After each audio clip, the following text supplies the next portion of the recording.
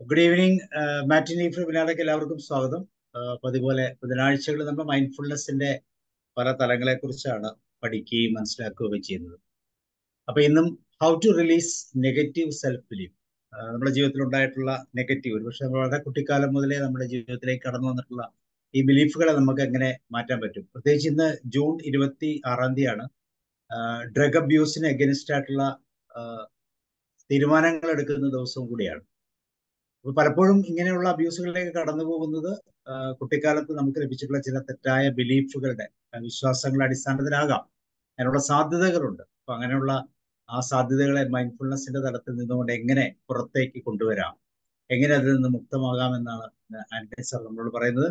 നിങ്ങൾ എല്ലാവരും ഈ പ്രോഗ്രാമിലേക്ക് ക്ഷണിക്കുന്നു. അതോടൊപ്പം Antony സാറിനെയും Antony sir you are welcome thank you Sabu sir എല്ലാവർക്കും നമസ്കാരം. ഓക്കെ സാബു സാർ പറഞ്ഞതുപോലെ നമ്മളുടെ ഇന്നത്തെ വിഷയം നെഗറ്റീവ് ആയിട്ടുള്ള അല്ലെങ്കിൽ നിഷേധാത്മകമായ നമ്മളുടെ ആത്മവിശ്വാസങ്ങൾ ആണ്. ഇത് പലപ്പോഴും ഒരു കുഞ്ഞിന്റെ ജനനത്തിൽ അല്ലെങ്കിൽ അത് നമ്മൾ ഇൻഹെറിഡി ഹെറിഡിറ്ററി ആയിട്ട് നമുക്ക് കിട്ടുന്നതല്ല. പക്ഷെ നമ്മളുടെ സാമൂഹ്യമായ കുടുംബപരമായിട്ടുള്ള പശ്ചാത്തലത്തിൽ നിന്ന് ഓരോരുത്തരും കിട്ടുന്നതാണ്. വ്യത്യസ്തമായ കുടുംബ പശ്ചാത്തലങ്ങൾ സാമൂഹ്യ സാംസ്കാരിക പശ്ചാത്തലങ്ങളിൽ നിന്ന് ഓരോരുത്തർ അവരുടെ വളർച്ചയുടെ ഭാഗമായിട്ട് അവർ നേടിയെടുക്ക നേടുക എന്ന് പറഞ്ഞു കഴിഞ്ഞാൽ ഞാൻ ഉദ്ദേശിക്കുന്നത് അവർക്ക് ലഭിക്കുന്നതാണ് അല്ലെങ്കിൽ അവർക്ക് കിട്ടുന്നതാണ്. ഇത് ഒരു അക്വയർഡ് അക്വയർ എന്ന് പറയാം. പക്ഷെ അത് നമ്മൾ പ്രത്യേകം ഒരു സ്കില്ല് പോലെ നേടുന്നതല്ല. പക്ഷെ ഇത് അക്വയർ ചെയ്യുന്ന ഒരു കാര്യമാണ്. ഇത് ഒരിക്കൽ നമുക്ക് ഏതെങ്കിലും തരത്തിലുള്ള നിഷേധാത്മകമായിട്ടുള്ള ആത്മവിശ്വാസ കുറവ് നമുക്ക് കിട്ടിക്കഴിഞ്ഞാൽ അതിനെ ഓവർകം ചെയ്യാൻ നമുക്ക് വളരെ ബുദ്ധിമുട്ടുണ്ട്. അത് പലപ്പോഴും നമ്മുടെ മരണം വരെ പലതും നമ്മളെ ഇങ്ങനെ ബാധിക്കും. ഒരു നീരാളിയുടെ നീരാളി പിടിച്ചതുപോലെ നമ്മളുടെ ജീവിതത്തിന്റെ സമസ്ത മേഖലകളിലും നമ്മളുടെ ആ ആത്മധൈര്യത്തിന്റെ അല്ലെങ്കിൽ ആത്മവിശ്വാസ കുറവ് നമ്മളെ പലതരത്തിലും ബാധിക്കും. നമ്മളുടെ ജീവിത വിജയം എന്ന് പറയുന്നത് അല്ലെങ്കിൽ നമ്മളുടെ ജീവിതത്തിന്റെ ഓരോ ജോലി സ്ഥലത്താകട്ടെ പഠനകാലത്താകട്ടെ അല്ലെങ്കിൽ മറ്റതുപോലുള്ള നമ്മുടെ സാമൂഹ്യമായ നമ്മളുടെ കുടുംബപരമായിട്ടുള്ള അല്ലെങ്കിൽ നമ്മളുടെ അയൽവക്കപരമായ ബന്ധങ്ങളിലെ വ്യക്തിഗത ബന്ധങ്ങളിലെല്ലാം ഇത് നമ്മളെ ബാധിക്കും. കാരണം നമുക്ക് ഇത് ഇത് നമ്മളുടെ ശരിക്കും നമ്മളുടെ ശാരീരികവും മാനസികവുമായിട്ടുള്ള വളർച്ചയെ തന്നെ ബാധിക്കും. പലരും ഈ കാരണങ്ങൾ കൊണ്ട് തന്നെ രോഗികളായി തീരാറുണ്ട് അതുകൊണ്ട് ഈ വിഷയത്തിൽ എങ്ങനെയാണ് നമുക്ക് ഇത് ഓവർകം ചെയ്യാൻ പറ്റുക? അല്ലെങ്കിൽ റിലീസ് ചെയ്യാൻ നമുക്ക് പറ്റുക? അതിനുള്ള ഏറ്റവും നല്ല ഒരു മെത്തഡാണ് അവധാനപൂർവ ധ്യാനം അല്ലെങ്കിൽ മൈൻഡ്ഫുൾനെസ് മെഡിറ്റേഷൻ എന്ന് പറയുന്നത്. എങ്ങനെയാണ് മൈൻഡ്ഫുൾനെസ് മെഡിറ്റേഷൻ നമ്മളെ സഹായിക്കുന്നതെന്ന് ചോദിച്ചു കഴിഞ്ഞാൽ നമ്മളുടെ പ്രത്യേകിച്ച് മനോവ്യാപാരങ്ങളെ നമുക്ക് അതാത് സമയത്ത് നമുക്ക് അറിയാൻ സാധിക്കും. ഇപ്പൊ നിങ്ങൾക്ക് കേരളത്തിൽ ഉടനീളം മഴക്കാലമാണ്. ഇപ്പൊ കാലാവസ്ഥാ നിരീക്ഷണ കേന്ദ്രങ്ങൾ അവരത് നോക്കിയിട്ട് പറയുന്നുണ്ട്. ഇന്ന ദിവസം മഴ പെയ്യും അല്ലെങ്കിൽ ഇത്ര ഇഞ്ച് അല്ലെങ്കിൽ ഇന്ന ജില്ലകളിൽ ഇങ്ങനെ വരുമെന്ന് പറയുന്ന പോലെ നമുക്ക് നമ്മളുടെ മാനസികമായിട്ടുള്ള മനോവ്യാപാരങ്ങളെ അല്ലെങ്കിൽ മാനസികമായിട്ടുള്ള ചിന്താഗതികളെ മെന്റൽ ഫോർമേഷൻസിനെ കൃത്യസമയത്ത് നമുക്ക് അറിയാൻ സാധിക്കും. അതുപോലെ തന്നെ ചില സന്ദർഭങ്ങളിൽ ഇതൊരു ട്രിഗർ പോലെ മുൻകൂട്ടി നമുക്ക് അറിയാനും നമുക്ക് സാധിക്കും. അപ്പൊ ഇവയെ അറിയുക എന്നുള്ളതാണ് ഏറ്റവും പ്രധാനപ്പെട്ട കാരണം ഏറ്റവും പ്രധാനപ്പെട്ടതായിട്ടുള്ള കാര്യം എന്ന് പറയുന്നത്. അങ്ങനെ അറിയാൻ നമ്മളെ സഹായിക്കുന്ന ഏറ്റവും നല്ല ഒരു മെത്തഡാണ് മൈൻഡ്ഫുൾനെസ് എന്ന് പറയുന്നത്. ഓക്കെ നമുക്കിതിന്റെ വിശദാംശങ്ങളിലേക്ക് പോകാം. എന്തൊക്കെയാണ് ഇതിന്റെ ഉള്ള കാരണങ്ങൾ? അതുപോലെ തന്നെ അതിന്റെ സ്വഭാവ വിശേഷങ്ങൾ എന്താണ് അതുപോലെ മൈൻഡ്ഫുൾനെസ് ആയിട്ട് നമുക്ക് എങ്ങനെ അതിനെ ഓവർകം ചെയ്യാം എന്നീ വിഷയങ്ങളെ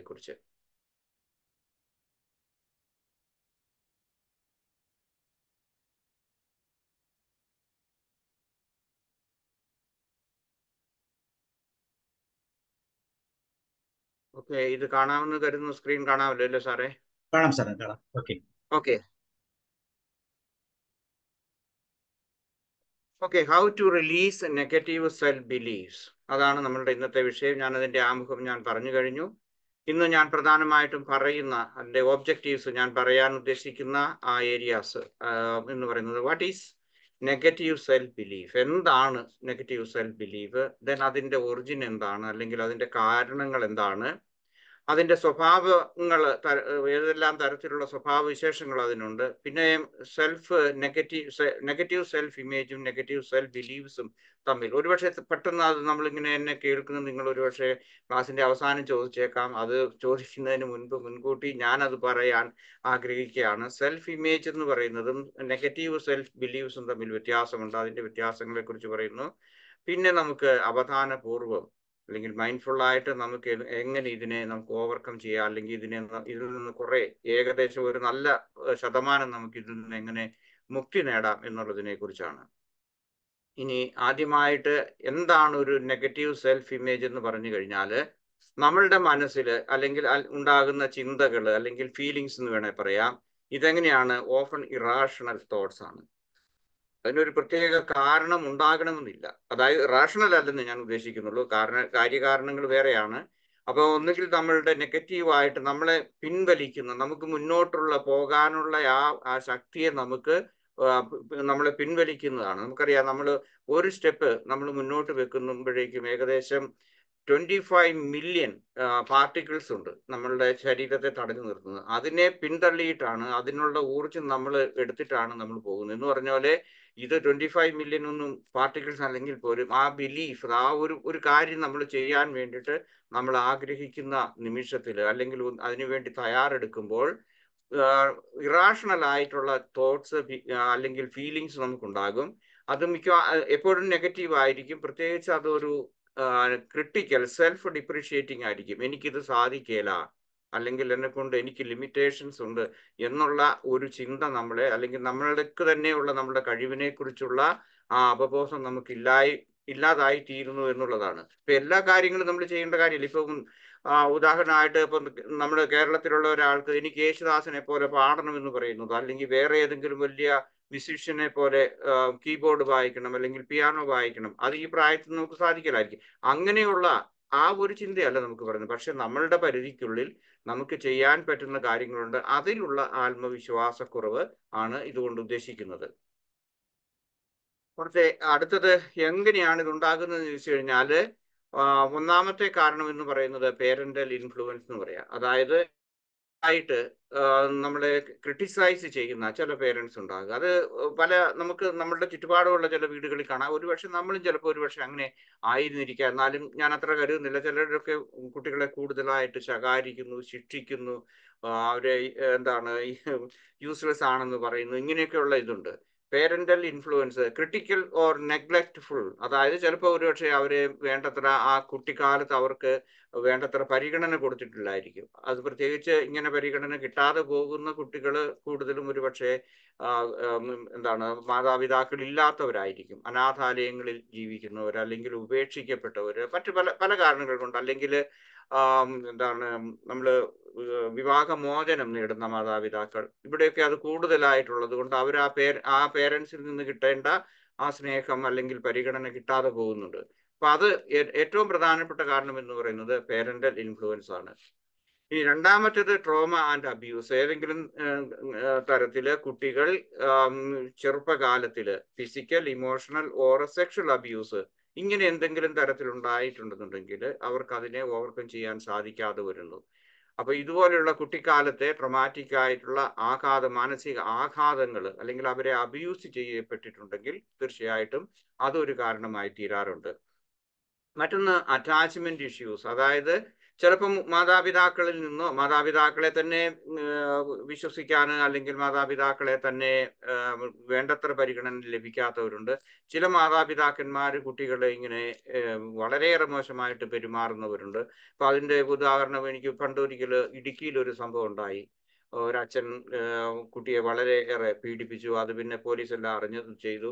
അതുപോലെ ഞാൻ കുറച്ച് വർഷങ്ങൾക്ക് മുമ്പ് നിങ്ങൾക്കൊക്കെ കൂടുതൽ ഇത് ഓർമ്മയൊക്കെ ഉണ്ടാകും അതാ ഒരു കുട്ടീനെ എന്തോ ഒരു ജാതക ദോഷം ഉണ്ടെന്ന് പറഞ്ഞിട്ട് ആ പിതാവ് ആ കുട്ടിയെ അടിച്ചു കൊന്നു. കാലെ പിടിച്ചിങ്ങനെ അടിച്ചു കൊന്നു. ഇതുപോലെയുള്ള ഇതൊക്കെ ഉണ്ടാകും. അപ്പൊ അത്രയും ഒരു ഇതിലേക്ക് പോകുന്നില്ലെങ്കിൽ പോലും ഇൻസെക്യൂർ ആയിട്ടുള്ള അറ്റാച്ച്മെന്റ് അത് സ്വന്തമായിട്ട് മാതാ സ്വന്തം മാതാപിതാക്കന്മാരുടെ കൂട്ടത്തിൽ ജീവിക്കുന്ന കുട്ടികൾക്കുണ്ടാകാം. അല്ലെങ്കിൽ ഞാൻ പറഞ്ഞതുപോലെ അനാഥാലയങ്ങളിലോ മറ്റേതെങ്കിലും സാഹചര്യത്തിൽ ഉണ്ടാകുന്നു അവർ തന്നെ ഈ അനാഥാലയങ്ങളാണ് എടുക്കുകയാണെന്നുണ്ടെങ്കിൽ അവർ പ്രത്യേകിച്ച് ചില കുട്ടികളോട് കൂടുതൽ സ്നേഹവും താല്പര്യവും കാണിക്കും ചിലരോട് താല്പര്യക്കുറവ് കാണിക്കും. അല്ലെങ്കിൽ മറ്റൊരു ഉദാഹരണമാണ് അധ്യാപകർ. പ്രത്യേകിച്ച് പ്രൈമറി സ്കൂളിലൊക്കെ ഏത് സ്കൂളിലാണെങ്കിലും കോളേജിലാണെങ്കിലും അധ്യാപകർ ചിലരോട് താല്പര്യം കാണിക്കുന്നു അവർക്ക് കൂടുതൽ മാർക്ക് വാരി കോരി കൊടുക്കുന്നു ഇങ്ങനെയൊക്കെയുള്ള ഇതിലേക്കൊക്കെ വരുമ്പോഴേക്കും അറ്റാച്ച്മെന്റ് ഇഷ്യൂസ് എന്ന് നമുക്ക് പറയാം. അത് അതും ഇതിന്റെ ഒരു കാരണമായിട്ട് മാറുന്നു. മറ്റൊന്ന് പിയർ റിലേഷൻഷിപ്പിനെ കുറിച്ചാണ്. നമ്മുടെ ഇന്നത്തെ ഈ ക്ലാസ്സിന് തൊട്ടു മുമ്പ് റോയ് സാറും സാബു സാറും ഒക്കെ പറഞ്ഞ പോലെ പിയർ റിലേഷൻഷിപ്പിന്റെ ഒരു ഇതുണ്ടാകും. അത് അവർ പ്രത്യേകിച്ച് അത് കൂടുതലായിട്ട് കാണിക്കും. കാരണം പ്രത്യേകിച്ച് ആൺകുട്ടികളിലാണെന്നുണ്ടെങ്കിൽ അവർ ഇതാണ് നമ്മളുടെ പുരുഷത്വം. നമ്മുടെ മീശയൊക്കെ വളർന്നു വരുന്ന സമയത്ത് ഇങ്ങനെ വീഡിയോ വലിക്കുന്നത് നല്ലതായിരിക്കാം. അല്ലെങ്കിൽ ഇപ്പം ഇപ്പം ആ വീഡിയോ ഒക്കെ വിട്ടിട്ട് ഡ്രഗ്സിലേക്കായി കാണും. അല്ലെങ്കിൽ ഇതൊന്ന് പരീക്ഷിച്ച് നോക്കാൻ പറയുന്നുണ്ടാകും. ഇങ്ങനെ നെഗറ്റീവ് ആയിട്ടുള്ള ഇനി മറ്റൊന്ന് വരുന്നത് ഈ ഡ്രഗ്സിന്റെ മറ്റു അബ്യൂസ് മാത്രമല്ല ഞാൻ ഉദ്ദേശിക്കുന്നത്. നമ്മളെ തന്നെ ഡിസ്കറേജ് ചെയ്യുന്ന അതുണ്ടാകും അതായത് ഒരു ഒരു പ്രത്യേക ഗ്രൂപ്പ് അല്ലെങ്കിൽ പ്രത്യേക വർഗം അല്ലെങ്കിൽ ഇപ്പം സാംസ്കാരികമായിട്ട് ഞാൻ അതിലേക്ക് വരുന്നുണ്ട്. സാംസ്കാരികമായി ഒരു പ്രത്യേക ഗ്രൂപ്പിൽപ്പെട്ടവർ ചിലപ്പം അപ്പോൾ ഇപ്പം ഉദാഹരണം വിദേശ രാജ്യങ്ങളിലാണെങ്കിൽ ഇന്ത്യക്കാർ ചിലപ്പോൾ അവർ ആ ഇന്ത്യൻ കുട്ടികളായിരിക്കുമായിട്ടുള്ള ബന്ധം കാണും. അപ്പൊ അവർക്കൊരു ഇതുണ്ടാകും. അല്ലെങ്കിൽ മറ്റേതെങ്കിലും രാജ്യത്ത് നിന്ന് വരുന്ന അല്ലെങ്കിൽ ആഫ്രിക്കയിൽ നിന്ന് വരുന്ന കുട്ടികളെ സംബന്ധിച്ചിടത്തോളം അവർ തമ്മിൽ പറയുമ്പോഴേക്കും അവരെ അവരെ ഏതെല്ലാം തരത്തിൽ ട്രീറ്റ് ചെയ്തു അല്ലെങ്കിൽ അവർക്ക് അവരെ ഹരാസ് ചെയ്തിട്ടുള്ള ഇത് ടീച്ചേഴ്സ് അല്ലെങ്കിൽ സമൂഹത്തിൽ നിന്നുണ്ടായതിനെ കുറിച്ചൊക്കെ പറയാം. ഇതൊക്കെ നമ്മളുടെ ആത്മവിശ്വാസക്കുറവിനെ ബാധിക്കുന്നതാണ്. മറ്റൊന്ന് cultural and societal norms cultural norms എന്ന് പറയുമ്പോഴേക്കും ഇത് ഇപ്പം ഞാൻ പറഞ്ഞതിന് അത് തന്നെയാണ്. അതായത് സാംസ്കാരികമായിട്ട് ഇത് കുട്ടികളെ മാത്രമല്ല നമ്മളെയും ബാധിക്കും. പ്രായപൂർത്തിയായിട്ട് വരുന്ന ആളുകൾ ഇവിടെ ഏത് രാജ്യത്ത് എവിടെയുമുണ്ട്? സാംസ്കാരികമായിട്ടുള്ള അല്ലെങ്കിൽ നമ്മളുടെ ശരീരത്തിന് നമ്മളുടെ കളർ അനുസരിച്ച് ഇതുപോലെയുള്ള റേഷ്യൽ പ്രിജുഡീസസ് മറ്റതുപോലുള്ള ഡിസ്ക്രിമിനേഷൻ ഒക്കെ വരും. അപ്പൊ അത് നമ്മളിപ്പം നമ്മളിപ്പോൾ ഒരു ജോലിക്ക് അപേക്ഷിക്കുകയാണെങ്കിൽ നമുക്ക് കിട്ടുന്നില്ല. ഞാൻ ഓർക്കുന്നുണ്ട് ഈ ജർമ്മനി ഓസ്ട്രിയ ഇതുപോലെയുള്ള യൂറോപ്യൻ രാജ്യങ്ങളിൽ ഒരു നാൽപ്പത് വർഷം മുൻപ് ആരെങ്കിലും ഒരു നല്ല ജോലിക്ക് ഓഫീസ് ജോലിക്കൊക്കെ അപേക്ഷിച്ചു കഴിഞ്ഞാൽ അവർ ഒരിക്കലും കൊടുക്കില്ല. ഒരിക്കലും എന്ന് പറഞ്ഞാൽ ഓൾമോസ്റ്റ് ഞാൻ പറഞ്ഞു നയന്റി നയൻ പെർസെന്റും ഈ ഒരു റേഷ്യൽ പ്രിജുഡീസ് കൊണ്ട് തന്നെ കൊടുക്കാതിരുന്നിട്ടുള്ള ആ അങ്ങനെയുള്ള കാര്യങ്ങൾ എനിക്കറിയാം. ഞാനിത് ഇങ്ങനെ അവരെ ഇവിടെയുള്ള സാഹിബ്മാരെ കുറ്റം പറയാൻ വേണ്ടി പറയുന്നതല്ല. എനിക്ക് നേരിട്ടുള്ള അനുഭവങ്ങൾ മറ്റുള്ളവരുമായിട്ട് ഷെയർ ചെയ്തിട്ടുള്ളതുണ്ട്. കാരണം അവർ കൊടുക്കില്ല. അല്ലെങ്കിൽ ഇപ്പം മറ്റ് സ്ട്രീറ്റ് ഒക്കെ തുടയ്ക്കുക അല്ലെങ്കിൽ മറ്റ് പേപ്പർ പേപ്പർ വിൽക്കുക അതുപോലെയുള്ള അല്ലെങ്കിൽ ഫാക്ടറികളിൽ ഗോഡൌണിലുള്ള ജോലിയൊക്കെ കൊടുക്കാനാണ്. പിന്നീടൊക്കെയാണ് ജർമ്മനി സ്വിറ്റ്സർലൻഡൊക്കെ കുറച്ചുകൂടെ വ്യത്യാസപ്പെട്ടു. പക്ഷേ യൂറോപ്പിലെ പല രാജ്യങ്ങളും ഇപ്പോൾ അത് ഇപ്പോൾ ഈ സം ഇപ്പോഴും ഈ ഈ ഇരുപത്തൊന്നാം നൂറ്റാണ്ടിൽ പോലും ഇത് ഇങ്ങനെയുള്ള കാരണങ്ങൾ കൊണ്ട് കൊടുക്കാതിരിക്കുന്ന ഇതുണ്ട്. അടുത്തത് നെഗറ്റീവ് ഫീഡ്ബാക്ക് ഒക്കെ ടീച്ചേഴ്സിൽ നിന്നും അല്ലെങ്കിൽ പൂർ അക്കാഡമിക് പെർഫോമൻസ് സ്കൂളിലോ കോളേജിലോ ഒക്കെ പഠിക്കുന്ന സമയത്ത് നമുക്ക് പഠിക്കാനുള്ള ഇതില്ല. അല്ലെങ്കിൽ നിന്നെ യൂസ്ലെസ് ആണ് എന്ന് പറയുന്ന അധ്യാപകർ ഡിസ്കറേജ് ചെയ്യുന്നു. നീ ഇതുപോലെയുള്ള ഈ കോഴ്സിന് വരണ്ട. അതിന്റെ ഒരു ഉദാഹരണം ഞാൻ പറയാം. ഇവിടെ തന്നെ ഇവിടുത്തെ വിദ്യാഭ്യാസ രീതി എന്ന് പറഞ്ഞു കഴിഞ്ഞാൽ നാലാം ക്ലാസ് വരെ എല്ലാവരും പ്രൈമറി സ്കൂൾ വിദ്യാഭ്യാസം നമ്മുടെ നാട്ടിലെ പോലെയുണ്ട്. അഞ്ചാം ക്ലാസ് തൊട്ട് അവർ അത് ഓരോ പ്രത്യേക സ്കൂളിലേക്ക് അല്ലെങ്കിൽ പ്രൊഫഷണൽ ആയിട്ടുള്ള ഇതിലേക്ക് വിടുകയാണ്. പിന്നെ നമ്മൾ ഈ പ്ലസ് ടുവിലേക്ക് പോകുന്നതിന് വേണ്ടിയിട്ട് കുറച്ച് നല്ല മാർക്കും ഇതൊക്കെ ഉള്ളവരെയൊക്കെ എടുക്കുള്ളൂ. അപ്പൊ ചില കുട്ടികൾക്ക് പ്ലസ് ടുവിൽ പോകണമെന്നുണ്ടെങ്കിൽ അധ്യാപകർ അത് ഡിസ്കറേജ് ചെയ്യും. എന്തിനാണ്? അപ്പോൾ നിനക്ക് അതിന് സാധിക്കില്ലെന്ന് അങ്ങനെ പോയിട്ട് വീണ്ടും പേരൻസിന്റെ നിർബന്ധം കൊണ്ട് ഏതെങ്കിലും സ്കൂളിലൊക്കെ പോയി അഡ്മിഷൻ കിട്ടി. നല്ല മിടുക്കന്മാരായി തീർന്നിട്ടുള്ള നല്ല മിടുക്കികളായി തീർന്നിട്ടുള്ള വിദേശീയരുടെ അല്ലെങ്കിൽ സ്വദേശീയരുടെ തന്നെ കുട്ടികളെ അങ്ങനെയുള്ളവരെ എനിക്കറിയാം. അപ്പൊ ഞാൻ പറഞ്ഞപ്പോൾ ടീച്ചേഴ്സിന്റെ ഈ എന്താണ് അവർ മാർക്ക് കൊടുക്കാതിരിക്കുന്നത് അല്ലെങ്കിൽ അവർ ചിലരോടുള്ള ഫേവറേറ്റീസും ഇതൊക്കെ ഇത് നമ്മളെ നമ്മളുടെ ആ സെൽഫ് ബിലീഫിനെ പോസിറ്റീവായിട്ടുള്ള അതിനെ ബാധിക്കും. അടുത്തത് കോഗ്നേറ്റീവ് ഡിസ്ട്രോഷൻസ് എന്ന് പറയും. അതായത് അത് അത് ചിലപ്പോൾ ഒരു പക്ഷേ പല കാരണങ്ങൾ കൊണ്ടാകാം. പ്രത്യേകിച്ച് സൈക്കോളജിക്കൽ ആയിട്ടുള്ള കാരണങ്ങൾ കൊണ്ട് തന്നെ ആയിരിക്കാം ആകും. പിന്നെ ഒരുപക്ഷെ ന്യൂറോളജിക്കൽ ആയിട്ടുള്ള കാരണങ്ങൾ കൊണ്ടും ഉണ്ടാകാം. പക്ഷെ എങ്കിലും കോഗ്നേറ്റീവ് ഡിസ്ട്രോഷൻസ് കൊണ്ട് നമ്മൾ വേണ്ടത്ര റാഷണൽ ആയിട്ട് കാര്യങ്ങളെ ശരിയായ വിധത്തിൽ നമുക്ക് മനസ്സിലാക്കാൻ നമുക്ക് സാധിക്കുന്നില്ലെന്നുണ്ടെങ്കിൽ ഇത് നമ്മളുടെ ആത്മവിശ്വാസത്തെ ബാധിക്കും. അടുത്തത് കമ്പാരിസൺ വിത്ത് അതേഴ്സ് ഇത് നമ്മളുടെ പ്രായമായവർക്കും കുട്ടികൾക്കും ഉള്ളതാണ് കുട്ടികളാണെങ്കിൽ പഠിക്കുമ്പോൾ എന്റെ അടുത്തിരിക്കുന്ന കുട്ടി അല്ലെങ്കിൽ അടുത്ത എന്റെ സുഹൃത്തിന്റെ അല്ലെങ്കിൽ നമ്മളുടെ കുടുംബ സുഹൃത്തിന്റെ മകന് അല്ലെങ്കിൽ മകൾ ഇങ്ങനെയൊക്കെയുള്ളവർ പഠിക്കുന്നു. അതുകൊണ്ട് എനിക്ക് വേണ്ട. അല്ലെങ്കിൽ ഞാൻ പോകുന്നില്ല. അതുകൊണ്ട് മറ്റേതെങ്കിലും ഒരു കോഴ്സിലേക്ക് ഞാൻ പോയിക്കൊള്ളാം. എന്ന് കരുതുന്നവരുണ്ടാകും. നമുക്ക് നമ്മളാണെങ്കിൽ ജോലി സ്ഥലത്താണെങ്കിലും അതെ കമ്പാരിസൺ കാരണം മനുഷ്യർക്ക് ഒരു ടെൻഡൻസി ഉണ്ട്. എപ്പോഴും നമ്മൾ കമ്പയർ ചെയ്യുന്നത് നമ്മളെക്കാൾ എന്താണ് മെച്ചപ്പെട്ടവരെ കുറിച്ചാണ് നമ്മൾ കമ്പയർ ചെയ്യുന്നത്. അതേസമയം നമുക്കുള്ള അവസ്ഥയിൽ നമ്മൾ നമ്മൾക്ക് നമ്മളെക്കാൾ മോശമായ രീതിയിൽ അല്ലെങ്കിൽ അല്പം കൂടി താഴ്ന്ന നിലയിൽ ജീവിക്കുന്നവരുമായിട്ട് കമ്പയർ ചെയ്യുന്നതിനേക്കാൾ കൂടുതൽ എനിക്കില്ലാത്ത ഒന്ന് അല്ലെങ്കിൽ മറ്റുള്ളവർക്കുള്ളതും എനിക്ക് നേടാൻ കഴിയാത്തതുമായിട്ടുള്ള കാര്യങ്ങളെക്കുറിച്ചുള്ള കമ്പാരിസൺ പലപ്പോഴും നെഗറ്റീവ് ആയിട്ടുള്ളതാണ്. അതുകൊണ്ട് നമ്മളുടെ ആത്മവിശ്വാസക്കുറവ് നം- ബാധിക്കും. ഒന്ന് അടുത്തത് ക്യാരക്ടറിസ്റ്റിക്സ് ആണ്. അതിന്റെ സ്വഭാവ രീതികൾ എന്താണെന്ന് ചോദിച്ചു കഴിഞ്ഞാൽ ഒന്ന് പെർവാസീവ്നെസ് എന്ന് പറയും. അതായത് ഇതൊരു ഞാൻ ആദ്യം സൂചിപ്പിച്ചതുപോലെ നീരാളി പിടിക്കുന്ന പോലെയാണ്. കാരണം നമ്മളുടെ എല്ലാ കാര്യങ്ങളിലും നമ്മളുടെ എന്താണ് മാനസികം വൈകാരികം ഫിസിക്കൽ ഇങ്ങനെയുള്ള എല്ലാ കാര്യങ്ങളും നമ്മുടെ ജീവിതത്തിന്റെ സമസ്ത മേഖലകളെയും ഈ ആത്മവിശ്വാസക്കുറവ് ബാധിക്കും. എന്നുള്ളതാണ്. ഒരു ഒരു കാര്യം മാത്രമല്ല നമ്മുടെ ചിന്തയിലോ അല്ലെങ്കിൽ നമ്മളുടെ മെന്റൽ ആയിട്ടുള്ളതോ അല്ലെങ്കിൽ ഇമോഷണൽ ആയിട്ടുള്ളതല്ല എല്ലാം ജീവിതത്തിന്റെ സമസ്ത മേഖലകളിലും ഇങ്ങനെയുള്ള ഈ വിശ്വ ആത്മവിശ്വാസക്കുറവ് നമ്മളെ ബാധിക്കും. ഉദാഹരണമായിട്ട് ഐ ആം നമുക്ക് എന്താണ് ഐ ആം അൺലവബിൾ നമ്മളോട് സ്നേഹം കാണിക്കുന്നില്ല. അല്ലെങ്കിൽ നമ്മൾ മാതാപിതാക്കളിൽ നിന്നാകാം അധ്യാപകരിൽ നിന്നാകാം മറ്റ് അതുപോലെയുള്ള നമ്മുടെ ജോലി സ്ഥലത്താകാം ഈവൻ പ്രായപൂർത്തിയായവരിൽ പോലും. അതിന് ഐ ആം അൺലവബിൾ എന്ന് പറയുന്നതിനേക്കാൾ ഭേദം I was unloved in these particular situation ഈ ഒരു സാഹചര്യത്തിൽ എന്നെ സ്നേഹി എനിക്ക് സ്നേഹം കിട്ടുന്നില്ല. കുടുംബത്തിലാകാം സ്കൂളിലാകാം അല്ലെങ്കിൽ മറ്റതുപോലുള്ള ജോലി സ്ഥലങ്ങളിലൊക്കെ ആകാം. നമ്മളെ റെക്കഗ്നൈസ് ചെയ്യുന്നില്ല എന്നുള്ള ആ ഒരു ഇതിനെ നമുക്ക് അല്പം ഒന്ന് മാറ്റി കഴിഞ്ഞു കഴിഞ്ഞാൽ അത് നമ്മളുടെ ജീവിതത്തിന്റെ ആ ചിന്താഗതിയെ വളരെയേറെ ബാധിക്കുന്നതാണ്.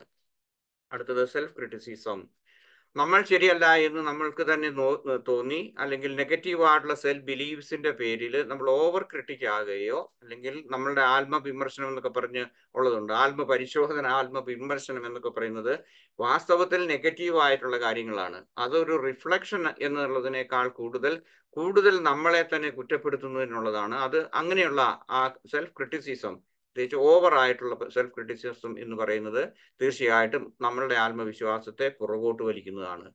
Then a constant fear of failure ഞാൻ എവിടെ ചെന്നാലും ഞാനൊരു ഒരു ഒരു ഫെയിലിയർ ആണ് അല്ലെങ്കിൽ ഞാൻ എനിക്കൊരു പരാജയമാണെന്നുള്ളത് അല്ലെങ്കിൽ പരീക്ഷകൾ എഴുതുന്നതിന്.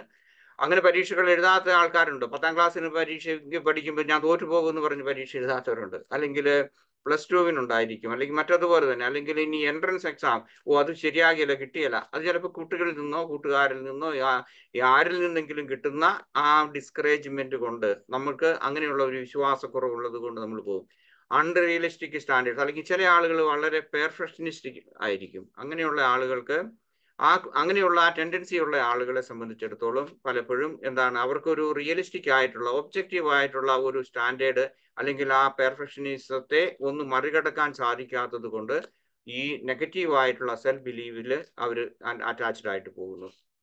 എ സെൻസ് ഓഫ് ചിലരെ സംബന്ധിച്ചിടത്തോളം ഹോപ്പ്ലെസ്നെസ് ആൻഡ് ഹെൽപ്ലെസ്നെസ് എന്ന് പറയും. നിസ്സഹായ അവസ്ഥ അതുപോലെ പ്രതീക്ഷയില്ലാതായി തീരുന്നു ഒരു ജോലിക്ക് പല പ്രാവശ്യം ട്രൈ ചെയ്തു. ഒരു ജോലിയും കിട്ടുന്നില്ല. ഇനി പിന്നെ എന്താ ചെയ്യുന്നത് എന്നുള്ളതാണ്.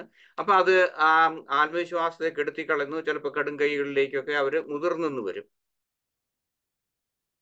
അടുത്തത് ഡിസ്റ്റോർഷൻ ഓഫ് റിയാലിറ്റി ആ റിയാലിറ്റിയെ വേണ്ടത്ര രീതിയിൽ കാണാൻ സാധിക്കുന്നില്ല. ഉദാഹരണമായിട്ട് കൊഗ്നിറ്റീവ് കൊഗ്നിറ്റീവ് ആയിട്ടുള്ള ഡിസ്റ്റോർഷൻ ഉണ്ട്. Such as over generalisation or catastrophising എന്ന് പറയാം. അപ്പൊ ഇവിടെ ഒരു വീണ്ടും ഒരു ഉദാഹരണം പറഞ്ഞു കഴിഞ്ഞാൽ ഒരുപക്ഷെ നമ്മൾ ജോലിക്ക് അപേക്ഷിക്കുന്നു അത് കിട്ടുന്നില്ല. ഒരു ഒക്കെ നമ്മുടെ നാട്ടിലേക്ക് തന്നെ ഞാൻ വന്നു കഴിഞ്ഞു കഴിഞ്ഞാൽ ഒരുപക്ഷെ നമ്മളുടെ ആ പൊളിറ്റിക്കലുള്ള പൊളിറ്റിക്കൽ ആയിട്ടുള്ള അറ്റാച്ച്മെന്റ് അല്ലെങ്കിൽ മറ്റതുപോലുള്ള പല കാരണങ്ങൾ റിലീജിയസ് ആയിട്ടുള്ള കാരണങ്ങൾ കാണാം. ഇങ്ങനെയൊക്കെയുള്ള കാര്യങ്ങളാൽ നമ്മൾക്ക് കിട്ടുന്നില്ല. അപ്പം എന്നാണ് നമ്മളത് ഉടനെ പിന്നെ നമ്മൾ അത് ഒരു ഒരു പ്രത്യേക ഒരു ബിലീഫ് സിസ്റ്റമായിട്ട് നമ്മൾ എടുക്കും നെഗറ്റീവായിട്ട് ഓക്കെ ഞാൻ ഇന്ന മതത്തിൽ ഇന്ന ജാതിയിൽ ഇന്ന കുലത്തിൽ ഉൾപ്പെട്ട ആളായതുകൊണ്ടാണ് കിട്ടാത്തതെന്നോ അങ്ങനെയൊക്കെയുള്ള കാര്യത്തിലേക്ക് വന്ന് അത് പിന്നെ ഒരു ഒരു കൈൻഡ് ഓഫ് എന്താണ് ചിന്താഗതിയായിട്ട് നമുക്ക് വരും. അപ്പോൾ ഒരുപക്ഷെ അത് റിയാലിറ്റിയെ നമ്മൾ പാടെ അവഗണിക്കുന്ന അല്ലെങ്കിൽ അതിനെ മാറ്റുന്നതാണ്. അതുപോലെ തന്നെ നിസ്സാരമായിട്ടുള്ള കാര്യങ്ങളിൽ നമ്മൾ കൂടുതൽ കറ്റസ്ട്രഫൈസ് ചെയ്യുന്ന രീതിയിലേക്ക് വരും. Okay one thinks badly or negatively about oneself എപ്പോഴും നമ്മൾ തന്നെത്താൻ ഇതിനെ കുറിച്ച് നമ്മൾ എന്താണ് ഇത് ഇന്നത് ഇന്നത് കൊണ്ടാണെന്നുള്ളതിനെ കുറിച്ച് ചിന്തിച്ച് അതുകൊണ്ട് ഓ, ഇനി ഞാൻ ശ്രമിക്കുന്നില്ല എന്ന് നമ്മൾ എടുക്കുന്നുണ്ട് ദെൻ ഇമാ ഇമോഷണൽ ഇമ്പാക്റ്റ് എന്ന് പറയും. അതായത് negative belief system self believe system എന്ന് പറയുന്നത് അതുകൊണ്ട് എന്ത് പറ്റുന്നു? നമ്മളുടെ ആ അത് നമ്മളുടെ വൈകാരികമായ തലത്തെ ബാധിക്കും. അപ്പോഴത്തേക്കും നമ്മൾ നമ്മൾ വെർത്തലെസ് ആണെന്ന് നമുക്ക് തോന്നും. നമുക്ക് പ്രതീക്ഷ നശിക്കുന്നു. അതുപോലെ തന്നെ ആങ്സൈറ്റി ആകും ഡിപ്രഷൻ ആകും. സമൂഹത്തോട് അല്ലെങ്കിൽ വ്യവസ്ഥിതികളോട് സർക്കാരിനോട് മറ്റതുപോലെയുള്ള എല്ലാത്തിനോടും നമുക്ക് വെറുപ്പുണ്ടാകും. അങ്ങനെയുള്ള ചില ആളുകളൊക്കെയാണ് പിന്നീട് പിന്നെ സാമൂഹ്യ ദ്രോഹികളായിട്ട് അല്ലെങ്കിൽ സമൂഹത്തിൽ വലിയ പ്രശ്നങ്ങൾ സൃഷ്ടിക്കുന്നവരായിത്തീരും. എന്തുകൊണ്ടാണ് അവർ ആ ഇമോഷണൽ ഇമ്പാക്റ്റ് ഇതുപോലെയുള്ള ഈ സെൽഫ് ബിലീഫ് സിസ്റ്റത്തിന്റെ ആ തകർച്ച കൊണ്ട് അവരിൽ ഉണ്ടാകുന്നതുകൊണ്ടാണ്. They under they under undermine self esteem and self confidence വേണ്ടത്ര നമുക്ക് ആ ഒരു ആത്മവിശ്വാസക്കുറവ് നമുക്ക് നഷ്ടപ്പെടുന്നുണ്ട്. അടുത്തത് individuals may withdraw from social situations due to feelings of unworthiness or fear of judgement or rejection അതായത് അങ്ങനെയുള്ളവർ സമൂഹത്തിൽ നിന്ന് കുറെ മാറി നിൽക്കാൻ നോക്കും. അല്ലെങ്കിൽ സാമൂഹ്യമായിട്ടുള്ള ബന്ധങ്ങൾ നിലനിർത്താതാകും. സമൂഹത്തിൽ ഒറ്റപ്പെട്ട രീതിയിലേക്ക് പോകുന്നു. എന്താണ്? ഓ ശരിയാകിയല്ല അല്ലെങ്കിൽ അവരങ്ങനെയാണ് അവർക്ക് അവർ എല്ലാം വലിയ ഇന്റലക്ച്വൽസ് ആണ്. അല്ലെങ്കിൽ അവർക്ക് വലിയ കഴിവുള്ളവരാണ്. എനിക്കതൊന്നും പറ്റുന്നില്ല. അതുകൊണ്ട് ഓ ഞാൻ മാറിയേക്കാം എന്നുള്ള ഞാൻ പറഞ്ഞ എല്ലായിടത്തും ഇടിച്ചു കയറണം എന്നുള്ള അർത്ഥത്തിലല്ല ഞാൻ പറയുന്നത് പക്ഷേ നമുക്കൊരു റിയലിസ്റ്റിക് ആയിട്ടുള്ള ചിന്താഗതി വേണം. പിന്നെ നമ്മൾ ഓവർ ആയിട്ടുള്ള സെൽഫ് ജഡ്ജ്മെന്റ് അല്ലെ നെഗറ്റീവ് ആയിട്ടുള്ള ആ ജഡ്ജ്മെന്റൽ മൈൻഡ് ഉണ്ടാകുന്നു. അതുപോലെ തന്നെ നമ്മൾ റിജക്റ്റ് ചെയ്യപ്പെടുമോ എന്നുള്ള ആ ഭയം കൊണ്ട് നമ്മൾ ഇതുപോലെയുള്ള ആ ആത്മവിശ്വാസ കുറവിലേക്ക് നമ്മൾ പോകുന്നു. Then there is a tendency to engage in self sabotaging behaviour അതായത് തന്നെ തന്നെ എന്താണ് അട്ടിമറിക്കുന്ന എന്ന് പറയും. സബറ്റാഷ് എന്ന് പറഞ്ഞാൽ അട്ടിമറി എന്നാണ് തോന്നുന്നു. അട്ടിമറിക്കുന്ന ആ ബിഹേവിയറിലേക്ക് പോകും that undermine personal goals and success നമ്മളുടെ വിജയത്തെ നെഗറ്റീവായിട്ട് ബാധിക്കുന്ന തരത്തിലുള്ള നമ്മളുടെ പെരുമാറ്റങ്ങളിലേക്ക് നമ്മൾ പോകും അടുത്തതൊന്ന് ഡിഫിക്കൽറ്റി അക്സെപ്റ്റിംഗ് കോംപ്ലിമെന്റ്സ് ഇങ്ങനെയുള്ള ആളുകളിൽ പലപ്പോഴും ഒരു കോംപ്ലിമെന്റ് സ്വീകരിക്കാൻ അവർക്ക് സാധിക്കാതെ വരും. എന്ന് പറഞ്ഞാൽ ഇപ്പം നമ്മൾ ഏതെങ്കിലും ഒരു നല്ല കാര്യം ചെയ്തു നമ്മൾ ഏതെങ്കിലും ഒരു പ്രോഗ്രാം ഓർഗനൈസ് ചെയ്തെന്ന് വിചാരിക്കുക നമ്മളുടെ ഓഫീസിൽ നമുക്ക് വിശ്വാസ ആത്മവിശ്വാസക്കുറവുണ്ട് എന്നാലും നമ്മൾ ചെയ്തു. അത് വിജയിച്ചു എന്ന് അല്ലെങ്കിൽ വിജയിച്ചു വിജയിച്ചെന്ന് തന്നെ കരുതുക. നമ്മളെ സാധിക്കുന്നിടത്തോളം നമ്മൾ ചെയ്തു. ചിലപ്പോൾ ആരെങ്കിലും നമ്മുടെ ബോസ് വന്നിട്ട് പറയാണ് okay you have done a good job okay congratulation എന്ന് പറഞ്ഞു കഴിയുമ്പോഴും. പക്ഷെ അന്നാലും ഒരു ഒരു ഒരു ഒരു അത് അക്സെപ്റ്റ് ചെയ്യാനുള്ള ഒരു എന്താണ് മനസ്ഥിതി നമുക്ക് ഉണ്ടാകാതെ പോകും. അപ്പോഴേക്കും നമ്മൾ പിൻവലിയുന്നു. ഇങ്ങനെയുള്ള കോംപ്ലിമെന്റ്സ് സ്വീകരിക്കാം. അല്ലെങ്കിൽ ഏതെങ്കിലും തരത്തിലുള്ള എന്തെങ്കിലും കാര്യം ചെയ്യുമ്പോഴേക്കും ഓ ഞാനത് ചെയ്തോ അല്ലെങ്കിൽ അത് ശരിയായോ വീണ്ടും സംശയങ്ങളിലേക്ക് പോകുന്നു. അതുപോലെ തന്നെ നെഗറ്റീവ് ഫീഡ്ബാക്ക് ആൻഡ് അതുപോലെ ക്രിട്ടിസൈസ് നമ്മൾ മറ്റുള്ളവർ നമ്മളെ ക്രിട്ടിസൈസ് ചെയ്യുമ്പോൾ കൂട്ടുകാര് ചിലപ്പോൾ അസൂയ ഉണ്ടായിരിക്കാം അല്ലെങ്കിൽ മറ്റെന്തെങ്കിലും ഉള്ള കാര്യങ്ങളൊക്കെ ഉണ്ടായിരിക്കാം. മാതാപിതാക്കൾ അധ്യാപകർ ഇങ്ങനെയൊക്കെ ചെയ്യുന്നതിനെ നമ്മൾ മാഗ്നിഫൈ ചെയ്യുകയും ഇന്റേണലൈസ് ചെയ്യുകയും ചെയ്യും. ഒരു പക്ഷേ മലയാളത്തിൽ പറഞ്ഞു കഴിഞ്ഞാൽ നമ്മൾ നെഞ്ചിലേറ്റും. ആവശ്യമില്ലാത്ത ഈ നെഗറ്റീവ് ആയിട്ടുള്ള ചിന്തകൾ നമ്മളുടെ നെഞ്ചിലേക്ക് നമ്മൾ എടുക്കും. നമ്മൾ വളരെ സീരിയസ് ആയിട്ട് ചെയ്യും. അതാ എന്താണ് ഏതെങ്കിലും ഒരു സാഹചര്യത്തിൽ യു ആർ ആൻ ഇഡിയറ്റ് എന്നോ അല്ലെങ്കിൽ യു ആർ യൂസ്ലെസ് എന്ന് ആരെങ്കിലും പറഞ്ഞാൽ അപ്പം നമ്മൾ അത് അത് അത് റിപ്പീറ്റ് ചെയ്ത് റിപ്പീറ്റ് ചെയ്ത് ഇന്റേണലൈസ് ചെയ്ത് നമ്മളുടെ ഒരു ക്യാരക്ടറായിട്ട് നമ്മൾ മാറ്റും. അതുപോലെ തന്നെ എന്താണ് ഓൾവേസ് എന്തെങ്കിലുമൊക്കെ നമ്മൾ ചെയ്യുന്നത് ശരിയാകുന്നില്ല എന്നുള്ള നമുക്കൊരു സെൽഫ് ഡൗട്ട് ഉണ്ടാകും ഉണ്ടായി വരും. അത് okay even if I do that I don't I am not sure about it എന്നുള്ള ആ ഒരു ചിന്താഗതിയും നമ്മളിൽ തന്നെയുള്ള ഒരു ആത്മവിശ്വാസക്കുറവും നമുക്കുണ്ടാകും. അതുപോലെ തന്നെ നമ്മളുടെ ആ കഴിവിൽ നമ്മൾക്ക് വിശ്വാസക്കുറവ് ഉണ്ടാകുകയും ഉണ്ടാകാനുള്ള സാധ്യതകളുണ്ട്. അത് അതിന്റെ ഒരു സ്വഭാവ വിശേഷമാണ്. അടുത്തത് എന്താണ് നെഗറ്റീവ് സെൽഫ് ഇമേജും അതുപോലെ തന്നെ നെഗറ്റീവ് സെൽഫ് ബിലീവ്സും തമ്മിലുള്ള വ്യത്യാസം എന്താണെന്ന് ചോദിച്ചാൽ നെഗറ്റീവ് സെൽഫ് ഇമേജ് എന്ന് പറയുന്നത് ഒന്ന് നമ്മളുടെ നമ്മളുടെ പ്രത്യേകിച്ച് അത് ബോഡിയിലെ സംബന്ധിച്ചിട്ടുള്ള കാര്യങ്ങളായിരിക്കും ഫിസിക്കലായിരിക്കും ഞാൻ എന്നെ എനിക്ക് കാണാനുള്ള നെഗറ്റീവായിട്ടുള്ള ഇമേജിനെ കുറിച്ച് ഞാൻ പറയുന്നത്. എന്താണ്? ഞാൻ അത്ര സുന്ദരനല്ല. അല്ലെങ്കിൽ എനിക്ക് കഷണ്ടിയുണ്ട് അല്ലെങ്കിൽ എനിക്ക് മറ്റ് ഏതെങ്കിലും ശരീരം ചിലർക്ക് കോൺ എന്ന് പറയുന്നുണ്ട് ആരാം അല്ലെങ്കിൽ അവരുടെ ജന്മനാ തന്നെ ചിലർക്ക് ചട്ടി നടക്കുന്നവരുണ്ടാകാം. അങ്ങനെ ഏതെങ്കിലും തരത്തിലുള്ള ഫിസിക്കലി ചലഞ്ചഡ് ആയിട്ടുള്ള ആ ഒരു അപ്പിയറൻസ് അല്ലെങ്കിൽ അതുമായിട്ട് ബന്ധപ്പെട്ടിട്ടുള്ള ഒരു എന്താണ് സെൽഫ് ഇമേജിനെയാണ് നെഗറ്റീവ് സെൽഫ് ഇമേജ് എന്ന് പറയുന്നത്. അതാണ് സെൽഫ് ഇമേജ് എന്ന് പറയുന്നത്. ഫിസിക്കൽ അപ്പിയറൻസുമായിട്ട് അല്ലെങ്കിൽ ഫിസിക്കൽ ആയിട്ടുള്ള കാര്യങ്ങളെ സംബന്ധിക്കുന്നതാണ്. Focus emphasis on physical characteristics and appearance അതാണ് സെൽഫ് നെഗറ്റീവ് സെൽഫ് ഇമേജ് എന്ന് പറയുന്നത്.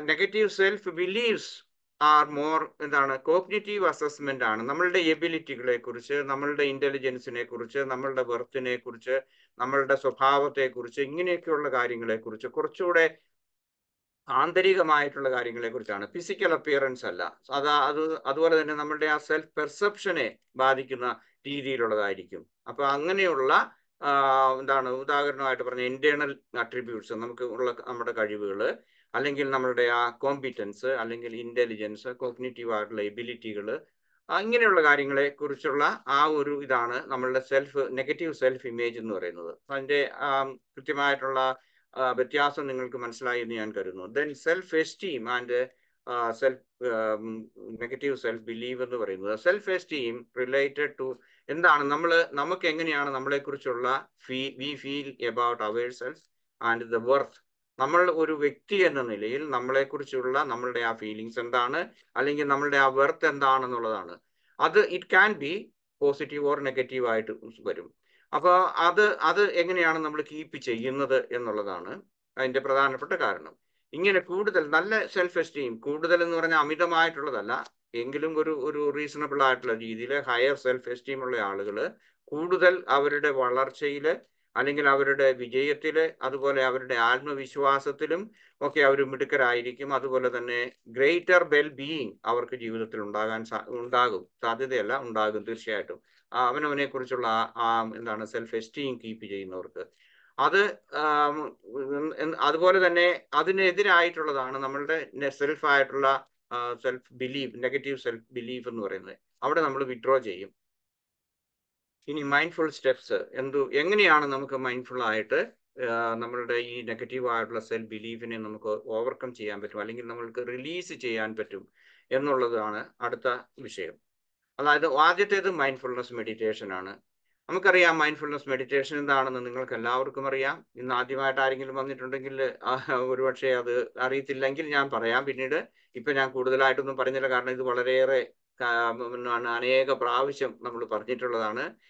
അപ്പൊ എന്ത് ചെയ്യുന്നു? നമ്മൾക്ക് കൂടുതലായിട്ടുള്ള സെൽഫ് അവയർനെസ് നമുക്ക് കിട്ടും. സെൽഫ് അവയർനെസ് കിട്ടുക എന്ന് പറഞ്ഞു കഴിഞ്ഞാൽ നമ്മൾ മൊമെന്റ് ടു മൊമെന്റ് അല്ലെങ്കിൽ നിമിഷാനുനിമിഷം നമ്മൾക്കുണ്ടാകുന്ന ചിന്തകൾ നമ്മളുടെ വികാരങ്ങൾ അല്ലെങ്കിൽ നമ്മളുടെ അനുഭൂതികൾ ഫീലിങ്സ് എന്ന് പറയാം അതൊക്കെ നമ്മൾ കൃത്യം കൃത്യം അറിയുന്നുണ്ട്.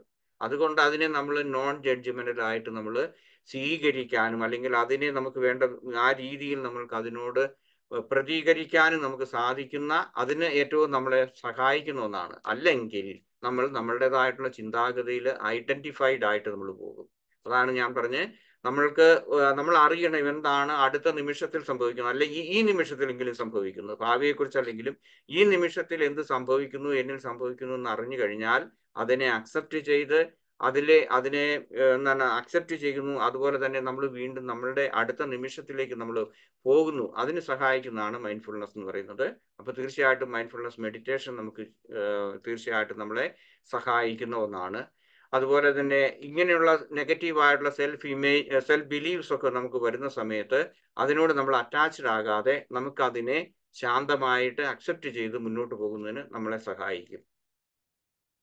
അടുത്ത മൈൻഡ്ഫുൾനെസ് സ്റ്റെപ്പ് എന്ന് പറയുന്നത് മൈൻഡ്ഫുൾ ജേർണലിംഗ് ആണ്. ഇതിപ്പോ മൈൻഡ്ഫുൾ ജേർണലിംഗ് എന്ന് പറയുമ്പോഴത്തേക്കും നമ്മൾ എഴുതുന്നു എഴുതുകയാണ് നമ്മൾ ഇപ്പോൾ ഇന്ന് ഉള്ളതായിട്ടുള്ള നമ്മളുടെ ആ പ്രത്യേകിച്ച് നെഗറ്റീവ് സെൽഫ് ബിലീവ്സുമായിട്ട് ബന്ധപ്പെട്ടിട്ടുള്ള നമ്മളുടെ ചിന്താഗതികൾ നമ്മൾക്ക് ഉണ്ടാകുന്നത് എപ്പോഴാണെന്നും എന്തിനാണെന്നും അത് റാഷണൽ ആണോ ഇറാഷണൽ ആണോ എന്നുള്ളതിനെ കുറിച്ച് ഓരോ ദിവസത്തെ അനുദിന ജീവിതത്തിലെ സംഭവങ്ങൾ അല്ലെങ്കിൽ അനുഭവങ്ങളെ ബേസ് ചെയ്ത് എഴുതി കഴിഞ്ഞാൽ പിറ്റേ ദിവസം നമുക്ക് നോക്കാൻ പറ്റും. അല്ലെങ്കിൽ നമ്മൾ മറന്നു പോകുമായിരിക്കും. അപ്പൊ എന്താണ്? അത് നമുക്കൊരു നല്ലൊരു പാഠമായിട്ട് ഒരു റെഫറൻസ് ഗ്രന്ഥമായിട്ട് ഉപയോഗിക്കാം. ഇത് മൈൻഡ്ഫുൾനെസിന്റെ പഠിപ്പിക്കുന്നവർ അതുപോലെ തന്നെ ഇക്കാലത്ത് സൈക്കോളജിസ്റ്റുകളും ബിഹേവിയറൽ സൈക്കോളജിസ്റ്റ് അല്ലെ പോസിറ്റീവ് സൈക്കോളജി അതുപോലെ തന്നെ ന്യൂറോളജിസ്റ്റുകളും പറയുന്ന ഏറ്റവും നല്ല ഒന്നാണ്. കാരണം നമ്മൾ ആരെങ്കിലും ഒക്കെ പണ്ട് ഇമ്പോസിഷൻ എഴുതിയിട്ടുണ്ടായിരുന്നെങ്കിൽ അത് നമ്മളുടെ തലച്ചോറിൽ എങ്ങനെ കൂടുതൽ അത് എന്താണ് എൻഗ്രേവ് ചെയ്യപ്പെടുന്നു എന്നതുപോലെ തന്നെയാണ് ഇത് നമ്മൾ എഴുതുമ്പോഴേക്കും നമുക്ക് കൂടുതൽ എന്താണ് നമ്മളിലേക്ക് തന്നെ നെഗറ്റീവായിട്ട് ഉള്ള കാര്യങ്ങൾ ഇന്റേണലൈസ് ചെയ്യുന്നതിന് പകരം പോസിറ്റീവായിട്ടുള്ള കാര്യങ്ങൾ നമുക്ക് ഇന്റേണലൈസ് ചെയ്യാൻ പറ്റും. This can help identifying patterns and triggers ഏത് സാഹചര്യത്തിലാണ് എനിക്ക് കൂടുതൽ എനിക്ക് ഇങ്ങനെയുള്ള ഒരു ട്രിഗർ എനിക്കുണ്ടായത്? അല്ലെങ്കിൽ എനിക്ക് നെഗറ്റീവ് ആയിട്ടുള്ള സെൽഫ് ഇമേജ് എന്നിൽ ഉണ്ടായത് എന്നറിയുന്നതിന് നമ്മളെ സഹായിക്കും. അടുത്തത് നോൺ ജഡ്ജ്മെന്റൽ ഒബ്സർവേഷൻ നമുക്ക് നെഗറ്റീവ് ആയിട്ടുള്ള സെൽഫ് ഇമേജ് ബിലീഫ് ഉണ്ടാകുന്ന സമയത്ത് തീർച്ചയായിട്ടും നമുക്ക് നോൺ ജഡ്ജ്മെന്റൽ ആയിട്ട് നമുക്ക് അതിനെ ഒബ്സർവ് ചെയ്യാൻ പറ്റും. മറ്റാർക്കും ഇത് പറഞ്ഞു തരാൻ പറ്റിയല്ല. ഇത് കാരണം നമ്മളുടെ മാനസികമായിട്ടുള്ള ഒരു വ്യാപാരമാണ് അല്ലെങ്കിൽ മാനസികമായിട്ടുള്ള ചിന്തകളാണ്. അതിനെ ഐഡന്റിഫൈ ചെയ്യാനും അക്നോളജ് ചെയ്യാനും നോൺ ജഡ്ജ്മെന്റൽ ആയിട്ട് അതിനെ കൈകാര്യം ചെയ്യുന്നതിന് വേണ്ടിയിട്ട് നമ്മളെ സഹായിക്കുന്ന ഏറ്റവും നല്ല ഒന്നാണ് non judgemental observation observation of our feelings observation of our thoughts or observation of our mental formations എന്ന് പറയാം. അതുപോലെ തന്നെ നമ്മൾ ആ നെഗറ്റീവായിട്ടുള്ള ഉണ്ടാകുന്ന ആ ഒബ്സർവേഷനെ നമ്മൾ മനസ്സിലാക്കുമ്പോൾ നോൺ ജഡ്ജ്മെന്റൽ ആയിട്ട് മനസ്സിലാക്കുന്ന സമയത്ത് അത് മോശമാണെന്ന് പറഞ്ഞ് അതിനെ സപ്രസ് ചെയ്യാനോ അവോയ്ഡ് ചെയ്യാനോ അതിൽ അല്ലെങ്കിൽ അതിൽ നിന്ന് നമ്മൾക്ക് ഓടി രക്ഷപ്പെടാനോ ശ്രമിക്കുന്നതിന് പകരം അതിനെ അക്സെപ്റ്റ് ചെയ്യാനും ആ എന്താണ് നമ്മളുടെ ആ കറണ്ട് അല്ലെങ്കിൽ ആ ഇത്ര ഈ സമയത്ത് നടക്കുന്ന ഇത് ഇതാണ് എന്നുള്ളത് മനസ്സിലാക്കി നമുക്ക് നമ്മളുടേതായിട്ടുള്ള ആ മെന്റൽ കറണ്ട് മെന്റൽ ലാൻഡ്സ്കേപ്പിനെ കുറിച്ചുള്ള കൃത്യമായിട്ടുള്ള ഒരു വ്യൂ നമുക്ക് ഉണ്ടാകും. Then compassion to compassionate self talk നമുക്കറിയാം സെൽഫ് ടോക്ക് എന്ന് പറയുന്നത് നമ്മളുടേതാണ്. Self belie negative self believe എന്ന് പറയുന്നത് ഒരു സെൽഫ് ടോക്ക് ആണ് അത്. എനിക്ക് സാധിക്കല സാധിക്കല എന്ന് പറയുന്നത്. അതിന് പകരം കമ്പാഷനേറ്റ് ആയിട്ടുള്ള സെൽഫ് ടോക്ക് നമുക്ക് പരീക്ഷിക്കാം. അല്ലെങ്കിൽ നമുക്കത് അത് കൂടുതലായിട്ട് നമുക്ക് എക്സസൈസ് ചെയ്യാൻ നമുക്ക് സാധിക്കും. അങ്ങനെ ചെയ്യുമ്പോഴേക്കും നമുക്ക് ഇങ്ങനെയുള്ള ഈ നെഗറ്റീവ് ആയിട്ടുള്ള ഇതിൽ നിന്ന് മാറി അതുപോലെ നമുക്ക് കൂടുതൽ പോസിറ്റീവ് ആകാൻ സാധിക്കും. അതുപോലെ തന്നെ നമുക്ക് സെൽഫ് കൈൻഡ്നെസ് നമുക്ക് പ്രാക്ടീസ് ചെയ്യാൻ പറ്റും. അത് നമ്മളെ തന്നെ കൂടുതൽ മനസ്സിലാക്കുന്നതിനും നമ്മളുടെ വിഷമം ഉള്ള ഈ സാഹചര്യങ്ങളിൽ നമുക്ക് പോകാനും നമുക്ക് സാധിക്കും. ഈ കാര്യങ്ങളെല്ലാം നമ്മളുടെ എന്താണ് നമ്മളുടെ ചിന്താഗതികളെ മാറ്റുന്നതിന് നമ്മളുടെ നെഗറ്റീവ് ആയിട്ടുള്ള സെൽഫ് ബിലീവിനെ മാറ്റുന്നതിന് തീർച്ചയായിട്ടും സഹായിക്കും. ദെൻ ഇൻവെസ്റ്റിഗേറ്റ് ദ ബിലീവ്സ് എന്താണ് നമുക്ക് ചെയ്യാൻ പറ്റുന്നത്? Ask yourself a question is these a belief true നമുക്ക് ഒരു ഇൻവെസ്റ്റിഗേഷൻ നടത്തണം. മൈൻഡ്ഫുൾനെസ് മെഡിറ്റേഷന്റെ സമയത്തല്ല സാധാരണഗതിയിൽ നമുക്ക് ശാന്തമായിട്ട് നമുക്ക് ഒറ്റയ്ക്കിരുന്ന് നമുക്ക് ഒരു എനിക്കുണ്ടാ ഉണ്ടാകുന്ന ആ സെൽഫ് ബിലീവ് സിസ്റ്റത്തെ ഏതെങ്കിലും തരത്തിലുള്ളത് ആകട്ടെ. നമ്മളുടെ ശാരീരികമായിട്ടുള്ള പ്രശ്നങ്ങളായിരിക്കാം മാനസികമായിട്ടുള്ള പ്രശ്നങ്ങളായിരിക്കാം അല്ലെങ്കിൽ വൈകാരികമായിട്ടുള്ള പ്രശ്നങ്ങൾ. ഇത് ഇത് ഈ എന്റെ മനസ്സിലേക്ക് കടന്നു വരികയും എന്നെ ഭയപ്പെടുത്തുകയും എന്നെ പിൻവാ പിന്മാറാൻ വേണ്ടി എന്താണ് എന്നെ പ്രേരിപ്പിക്കുകയും ചെയ്യുന്ന ഈ സെൽഫ് നെഗറ്റീവ് ആയിട്ടുള്ള self believes is it true is is എന്താണ് ബിലീഫ് ട്രൂ എന്ന് നമ്മളോട് തന്നെ ചോദിക്കുന്നതിന് അല്ലെങ്കിൽ ഒരു സെൽഫ് റിഫ്ലക്ഷൻ നടത്തുന്നതിന് സഹായിക്കും. What evidence do I have and against these belief ഞാൻ എനിക്ക് ഏതെങ്കിലും തരത്തിലുള്ള ഒരു ആത്മവിശ്വാസ കുറവ് നെഗറ്റീവ് ആയിട്ടുണ്ടാകുന്നുണ്ടെങ്കിൽ ഏത് എന്ത് നെഗറ്റീവായ എന്ത് എന്താണ് എന്റെ എന്ത് എവിഡൻസ് ആണ് എനിക്കുള്ളത് എന്ന് തന്നെ നമുക്ക് തന്നെ താൻ ചോദിക്കാനും മനസ്സിലാക്കാനും സാധിക്കും. How do I feel if I don't hold to believe ഇപ്പം എനിക്കിതൊന്നും ഞാനിത് അക്സെപ്റ്റ് ചെയ്യാൻ താൻ ഞാൻ തയ്യാറല്ലെന്നുണ്ടെങ്കിൽ എനിക്ക് എങ്ങനെ ഏതെല്ലാം ഏത് ഏത് തരത്തിലായിരിക്കും എനിക്കത് ഫീൽ ചെയ്യുന്നത് എന്നുള്ളതിനെ കുറിച്ചുള്ള ഒരു സെൽഫ് റിഫ്ലക്ഷൻ നമുക്ക് നടത്തുന്നതിന് മൈൻഡ്ഫുൾനെസ് നമ്മളെ സഹായിക്കും. അടുത്തത് അഫർമേഷൻ പ്രാക്ടീസ് എന്ന് പറയും. അഫർമേഷൻ പ്രാക്ടീസ് എന്ന് പറയുന്നത് ഇപ്പൊ മൈൻഡ്ഫുൾനെസ്സിൽ വളരെ വ്യാപകമായിട്ട് നടത്തുന്ന ഒന്നാണ്. അതിനെ അതേ അഫർമേഷൻസിനെ കുറിച്ച് തന്നെയുള്ള ഒരു പുസ്തകം തന്നെയുണ്ട്. അത് ഓസ്ട്രേലിയയിലുള്ള ഒരു കമ്പനിയാണ് അല്ലെങ്കിൽ ഓസ്ട്രേലിയയിലുള്ള മൈൻഡ്ഫുൾനെസ് അത് ആ ആ ഗ്രൂപ്പുകാർ ഇറക്കിയിട്ടുള്ള ഒരു അഫർമേഷൻ പ്രാക്ടീസ് അല്ലെങ്കിൽ അഫർമേഷനെ കുറിച്ച് തന്നെയുള്ള പുസ്തകമുണ്ട്. നമുക്ക് വിവിധ സാഹചര്യങ്ങളിൽ ഓരോ വ്യക്തികൾക്ക് ഏത് തരത്തിലുള്ള പോസിറ്റീവായിട്ടുള്ള അഫർമേഷൻസിനെ ഉപയോഗിക്കാം എന്നുള്ളതിന് വേണ്ടിയിട്ടുള്ള ഒരു പുസ്തകം തന്നെ. എന്റെ അറിവിലൊരെണ്ണമുണ്ട് അത് കൂടുതൽ ഇപ്പോൾ കാണുമായിരിക്കും ഗൂഗിളിലോ അല്ലെങ്കിൽ ആമസോണിലോ ഒക്കെ സെർച്ച് ചെയ്താൽ നിങ്ങൾക്ക് ക്രിയേ നിങ്ങൾക്ക് മനസ്സിലാക്കാൻ പറ്റും. ക്രിയേറ്റീവ് സെൽഫ് ഇമോഷൻസ് അല്ലെങ്കിൽ നമ്മളുടെ ആ എന്താണ് അഫർമേഷൻസ് കൂടുതലായിട്ട് വരുന്നത്. അങ്ങനെ നമ്മൾ അങ്ങനെ റിപ്പീറ്റ് ചെയ്താൽ അത് നമ്മളുടെ മനസ്സിൽ അതുപോലെ തന്നെ നമ്മളുടെ മസ്തിഷ്കത്തിലും പതിയും. അതിൽ നിന്ന് നമുക്ക് ഈ നെഗറ്റീവായിട്ടുള്ള ഈ സെൽഫ് ഇമേ ബിലീഫ്സിൽ നിന്ന് നമുക്ക് മാറാൻ സാധിക്കും. For instance I I am not good enough എന്നുള്ളതിനെ അങ്ങനെയുള്ള ഒരു നെഗറ്റീവ് ഇതാണ്. എനിക്കിത് ചെയ്യാൻ പറ്റുന്നില്ല എന്നുണ്ടെങ്കിൽ I am capable and worthy എന്നുള്ള ഒന്നിനെ നമുക്ക് റീപ്ലേസ് ചെയ്യാൻ പറ്റും. എനിക്കറിയാം എനിക്കറിയാം തീർച്ചയായിട്ടും നിങ്ങൾക്ക് അറിയാൻ സാധിക്കും. എന്താണ് സെൽഫ് അല്ലെങ്കിൽ പോസിറ്റീവ് അഫർമേഷൻസ് എന്താണെന്നുണ്ട് നമ്മൾ പലപ്പോഴും മെഡിറ്റേഷനകത്ത് അത് ഉപയോഗിക്കാറുണ്ട്. അടുത്തത് വിഷ്വൽ റിമൈൻഡേഴ്സ് ചില ആളുകൾ ഇപ്പൊ ഈ മൈൻഡ്ഫുൾനെസ് ഒക്കെ പ്രാക്ടീസ് ചെയ്യുന്ന ആളുകൾ പറയുന്നതും അല്ലെങ്കിൽ അവർ പരീക്ഷിക്കുന്നുണ്ട്. ചെറിയ നിങ്ങൾ ഇപ്പൊ നാട്ടിലൊക്കെ കാണുമായിരിക്കും. യെല്ലോ സ്റ്റിക്കേഴ്സ് ഉണ്ടാകും ചെറിയത് സ്റ്റിക്ക് ചെയ്യുന്നത് അത് ഫ്രിഡ്ജിൽ അല്ലെങ്കിൽ മുറികളിലൊക്കെ ഇപ്പം എല്ലായിടത്തും എഴുതി വെക്കാൻ നിങ്ങൾക്ക് അതിനുള്ള സൗകര്യങ്ങളുണ്ടെന്ന് ഞാൻ കരുതുന്നില്ല. അങ്ങനെയുള്ളവർക്ക് വേണമെങ്കിൽ നമ്മളെ പെട്ടെന്ന് നമുക്ക് മൈൻഡ്ഫുൾനെസ് ആയിട്ടുള്ള അല്ലെങ്കിൽ വിഷ്വൽ ആയിട്ടുള്ള റിമൈൻഡേഴ്സ് കിട്ടുന്നതിന് വേണ്ടിയിട്ടുള്ള അങ്ങനെയുള്ള ആ ടെക്നിക്ക് നമുക്ക് ഉപയോഗിക്കാൻ നമുക്ക് സാധിക്കും. അതായത് മൈൻഡ്ഫുൾ അടുത്തത് മൈൻഡ്ഫുൾ ബ്രീത്തിങ് ആണ്. പെട്ടെന്ന് ഇങ്ങനെയുള്ള ഈ നെഗറ്റീവ് ആയിട്ടുള്ള ഇത് ഉണ്ടാകുന്നുണ്ടെങ്കിൽ നമുക്ക് വേണമെങ്കിൽ നമുക്ക് മൈൻഡ്ഫുൾ ബ്രീത്തിങ്ങിലേക്ക് പോകാം. അത് ഡീപ്പ് ബ്രീത്തിങ് ആകാം അല്ലെങ്കിൽ നോർമൽ ആയിട്ടുള്ള ബ്രീത്തിങ് എന്താണ് നമ്മളുടെ ആ പ്രസന്റ് മൊമെന്റിലേക്ക് നമ്മളുടെ മൈൻഡിനെ നമുക്ക് ആങ്കർ ചെയ്യുന്നതിന് വേണ്ടിയിട്ട് അതിലേക്ക് നമുക്ക് കൂടുതൽ ശ്രദ്ധ കേന്ദ്രീകരിക്കുന്നതിന് വേണ്ടിയിട്ട് മൈൻഡ്ഫുൾ ബ്രീത്തിങ് നമുക്ക് ഉപയോഗിക്കാവുന്ന ഒരു ടെക്നിക്കാണ് then body scan meditation body scan meditation നിങ്ങൾക്കറിയാം. നമ്മളത് ചെയ്തിട്ടുണ്ട് ഈ ഗ്രൂപ്പിൽ തന്നെ. അപ്പൊ അതുകൊണ്ട് അല്ലെങ്കിൽ നമുക്ക് എന്താണ്? ഇപ്പം വേറൊന്ന് ചെയ്യാൻ സാധിക്കുന്നു പറയുന്നത് നമ്മൾക്ക് എന്തെങ്കിലും ഒരു സെൽഫ് കോൺഫിഡൻസിന്റെ അല്ലെങ്കിൽ സെൽഫ് നെഗറ്റീവ് സെൽഫ് ബിലീഫ്സ് ഉണ്ടെന്നുണ്ടെങ്കിൽ അതിനോട് കറസ്പോണ്ടിങ് ആയിട്ടുള്ള ഏതെങ്കിലും തരത്തിലുള്ള ഒരു ശരീരഭാഗത്ത് എവിടെയെങ്കിലും ഒരു വ്യത്യാസം വരും. ഉദാഹരണമായിട്ട് നമുക്ക് പുറത്തേക്ക് പോകുന്നതിനുള്ള കോൺഫിഡൻസുകളുണ്ട് അല്ലെങ്കിൽ ഡ്രൈവ് ചെയ്യുന്നതിനുള്ള ആത്മവിശ്വാസക്കുറവുണ്ട്. അല്ലെങ്കിൽ മറ്റേതെങ്കിലും തരത്തിലുള്ളതാണെന്നുണ്ടെന്നുണ്ടെങ്കിൽ നമ്മളുടെ ഏതെങ്കിലും തരത്തിൽ ഒരു പക്ഷേ സ്ട്രെസ് ആയിരിക്കും അല്ലെങ്കിൽ നമുക്ക് ഗട്ട് ഫീലിങ്സ് ഉണ്ടാകാം. അതും അല്ലെങ്കിൽ നമുക്ക് ശ്വാസ തടസ്സങ്ങൾ ചെറിയ തോതിലെങ്കിലും ഉണ്ടാകാം. അല്ലെങ്കിൽ വിയർക്കുന്നു ഇങ്ങനെയൊക്കെയുള്ള കാര്യങ്ങൾ ഉണ്ടെന്നുണ്ടെങ്കിൽ ആ സമയത്ത് നമുക്ക് എന്ത് ചെയ്യാം? ബോഡി സ്കാൻ മെഡിറ്റേഷൻ വഴി ആ ആ പ്രത്യേക ശരീര ശരീരത്തിൽ ഉണ്ടാകുന്ന ആ ഇമോഷണൽ ആയിട്ടുള്ള ഇമ്പാക്റ്റിനെ നമുക്ക് ഓവർകം ചെയ്യുന്നതിന് വേണ്ടിയിട്ട് നമുക്ക് ബോഡി സ്കാൻ മെഡിറ്റേഷൻ നമുക്ക് ഉപയോഗ ഉപ- ഉപകാരപ്പെടും. ടേക്ക് എ സ്മോൾ സ്റ്റെപ്സ് അതായത് അടുത്തത് നമുക്ക് നമ്മളുടെ ആ ആക്ടിവിറ്റീസിനെ ബൂസ്റ്റ് ചെയ്യുന്നതിന് വേണ്ടി scan meditation body scan meditation മറ്റേതെങ്കിലും ചെയ്യുന്നതിന് വേണ്ടിയിട്ട് നമ്മൾ അല്ലെങ്കിൽ നമ്മളുടെ ഈ നെഗറ്റീവ് സെൽഫ് ബിലീവ്സിനെ ഓവർകം ചെയ്യുന്നതിന് വേണ്ടി ചെറിയ സ്റ്റെപ്പുകൾ വലിയ വലിയ കാര്യങ്ങളിലേക്ക് അതല്ല ചെറിയതായിട്ടുള്ള കാര്യങ്ങൾ നമുക്ക് ചെയ്യാനും അതുപോലെ തന്നെ self esteem and self efficacy നമുക്ക് വളർത്തുന്നതിന് വേണ്ടിയിട്ട് സഹായിക്കും. മറ്റൊന്ന് സെലിബ്രേറ്റ് സക്സസ് നമുക്കുണ്ടാകുന്ന ഏതെ ഏതെങ്കിലും നമ്മളിത് ബോധപൂർവം നമ്മൾ ശ്രമിക്കുന്നു. അതിൽ നമുക്കുണ്ടാകുന്ന അനുദിന ജീവിതത്തിൽ ഉണ്ടാകുന്ന ചെറിയ ചെറിയ വിജയങ്ങൾ നമുക്ക് സാധിക്കുന്നുണ്ടെങ്കിൽ നമ്മുടെ ശാരീരികമോ മാനസികമോ വൈകാരികമായിട്ടുള്ള തലങ്ങളിൽ നമ്മൾ എപ്പോഴെങ്കിലും നമുക്ക് വിജയിക്കാൻ സാധിക്കുന്നുണ്ടെങ്കിൽ തീർച്ചയായിട്ടും അതിനെ നമ്മൾ സെലിബ്രേറ്റ് ചെയ്യുക. നമുക്ക് തന്നെ താൻ അതിന് നമുക്ക് കൂടുതൽ ആത്മവിശ്വാസം പകരുന്നതിന് വേണ്ടി യെസ് യു ക്യാൻ ഡു എന്നുള്ള ആ ഒരു ഇതിലേക്ക് കൂടുതൽ പോസിറ്റീവ് സെൽഫ് അഫർമേഷൻ കൊടുത്തുകൊണ്ട് നമുക്ക് സഹായിക്കും. Then practice loving kindness self loving kindness എന്ന് വേണമെങ്കിൽ പറയാം കൂടുതലായിട്ട്. അതായത് നമ്മളോട് തന്നെ നമ്മൾ സാധിക്കും.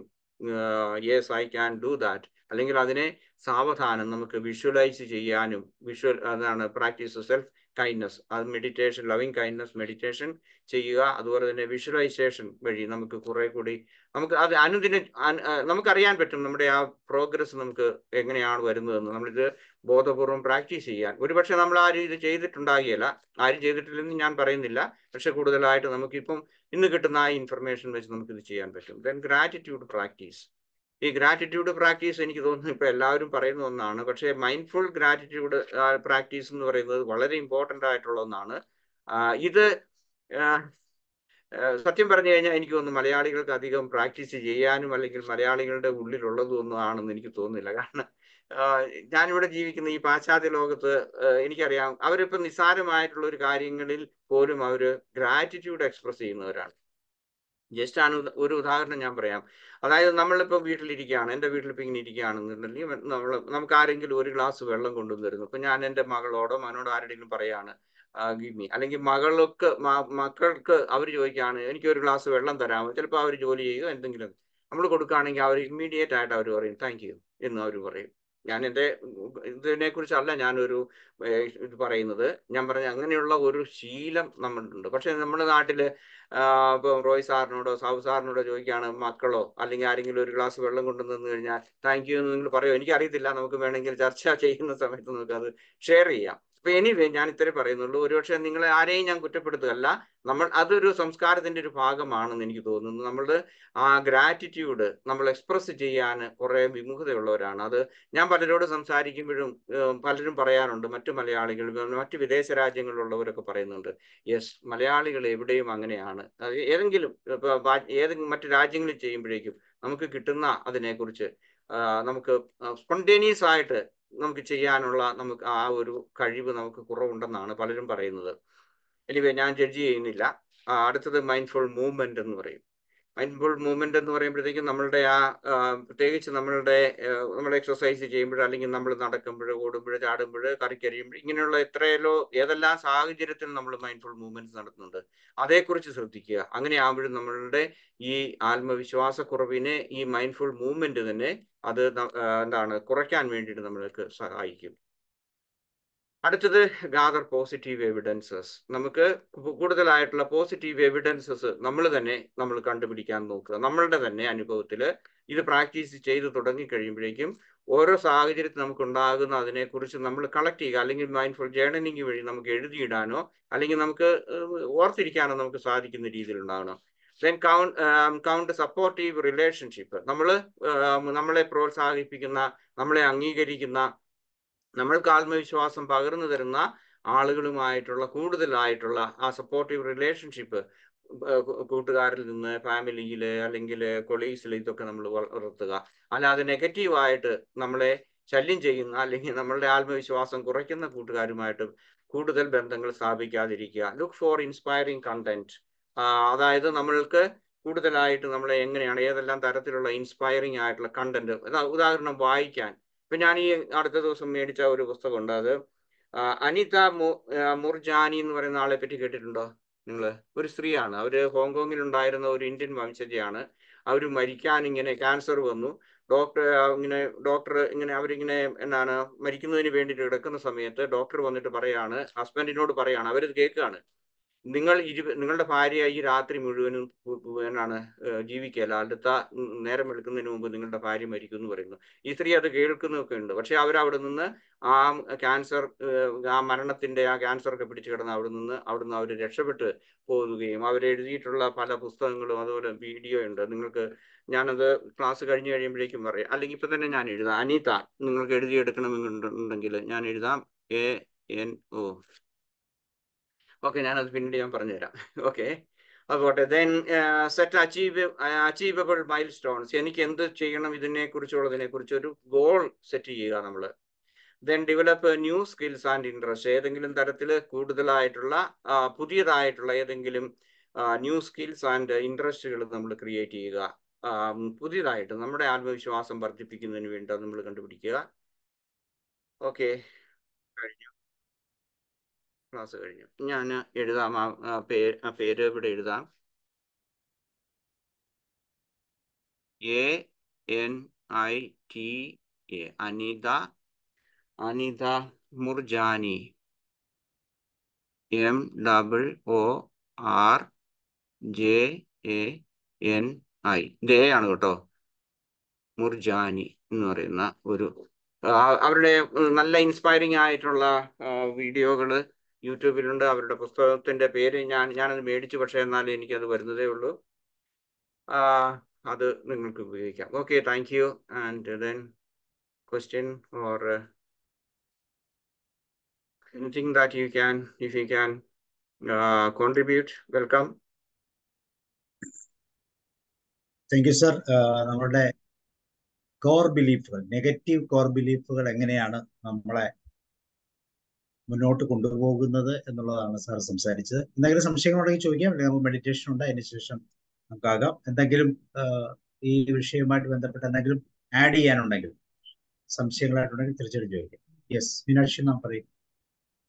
ഹലോ ഗുഡ് ഈവനിങ് സാർ ഞാൻ പോസിറ്റീവ് സൈക്കോളജി പഠിച്ച സമയത്ത് അതിൽ ഈ ലവിങ് കൈൻഡ്നസ് മെഡിറ്റേഷനെ പറ്റി പറയുന്നുണ്ട്. ഓക്കെ കേട്ടോ?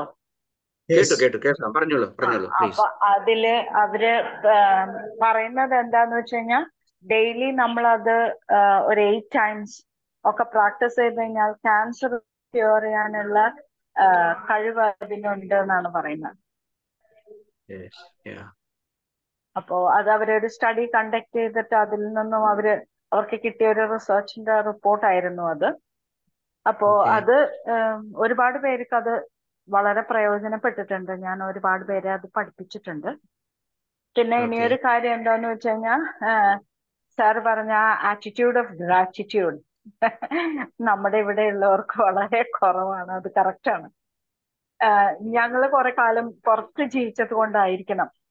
ഞങ്ങൾ എപ്പോഴും അങ്ങനെ വീട്ടിലായാലും പുറത്തായാലും എല്ലാവരോടും അങ്ങനെ പറയുന്ന ഒരു ശീലമുണ്ട്. അപ്പൊ പലരും വളരെ അതിശയത്തോടു കൂടി ആദ്യാദ്യം ഞങ്ങളെ നോക്കുമായിരുന്നു ഇവർക്ക് സീരിയസ് ആയിട്ട് എന്തോ കുഴപ്പമുണ്ടോ എന്നുള്ള രീതിയിൽ പക്ഷെ ഇപ്പൊ ഇപ്പൊ അവർക്കറിയാം നമ്മൾ അങ്ങനെ പറയുന്നു. അതുകൊണ്ട് അവർ ഓക്കെ ആയിട്ടുണ്ട്. പക്ഷെ എന്നാലും ആദ്യാദ്യം അവർ എന്താണ് എന്താണത്?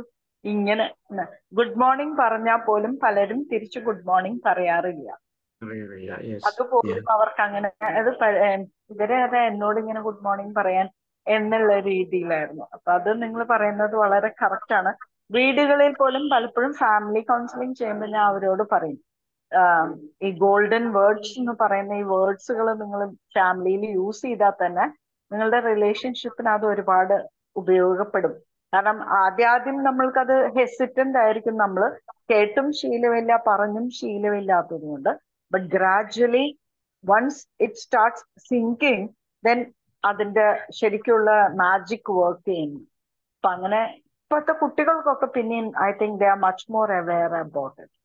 അങ്ങനെ എനിക്ക് Okay. തോന്നുന്നു. താങ്ക് യു എനിക്ക് so much. Okay. Thank you for your contribution your ideas. എനിക്ക് അറിഞ്ഞുകൂടാ കേരളത്തിലുള്ള അത് ആ ഇപ്പോഴുള്ള അവസ്ഥയെ കുറിച്ച് എനിക്ക് അറിഞ്ഞുകൂടാ അപ്പൊ അതുകൊണ്ട് പറഞ്ഞത് നന്നായി യെസ് യാ. സാർ അത് കേരളത്തിൽ അത് ഒട്ടും നെസസറി അല്ല. പക്ഷെ വിദേശ രാജ്യങ്ങളിൽ പോയി കഴിഞ്ഞാൽ അത് കമ്പൽസറി ആണ്. അങ്ങനെ ചെയ്തില്ലെങ്കിൽ അതിന്റെതായ പ്രോബ്ലംസ് അപ്പൊ ഇവിടെ ഒരു ഫ്രീ എന്താ ഫ്രീ സ്റ്റൈലാണ് എന്ത് വെള്ളമാകാം എന്ന് എല്ലാം നമ്മൾ അക്സെപ്റ്റ് ചെയ്യും അല്ലേ? ഇവിടെ നാട്ടിലത് താങ്ക്സ് പറഞ്ഞാൽ അല്ലെ ഗുഡ് മോർണിംഗ് പറഞ്ഞാൽ ദർ ഇസ് സംതിങ് റോങ് എന്ന് പറയുന്ന പോലെയാണ്. ഇവിടെ അത് പറഞ്ഞില്ലെങ്കിൽ ദർ ഇസ് സംതിങ് റോങ് അതെ അതെ ആരോടെങ്കിലും നമ്മളിപ്പോ ഒരു കാര്യം പറഞ്ഞിട്ട് അത് അതിന് ഒരു താങ്ക്സ് പറയാതെ നമ്മൾ ഐ ഡോണ്ട് കെയർ എന്നുള്ള മട്ടിൽ പോവുകയാണെന്നുണ്ടെങ്കിൽ there is something wrong with these guy എന്നുള്ളത് അവർ ചിന്തിക്കും. ഡിമാൻഡിങ് ആണ് അവിടെ. ഇവിടെ yeah. അങ്ങനെ ശീലങ്ങളേ ഇല്ല. അതെ. ഓക്കെ ദെൻ വേറെ എന്തെങ്കിലും സംശയങ്ങൾ ഉണ്ടെങ്കിൽ ചോദിക്കാം അല്ലെങ്കിൽ നമുക്ക് മെഡിറ്റേഷനിലേക്ക് okay sir meditation okay okay let us start now, yeah.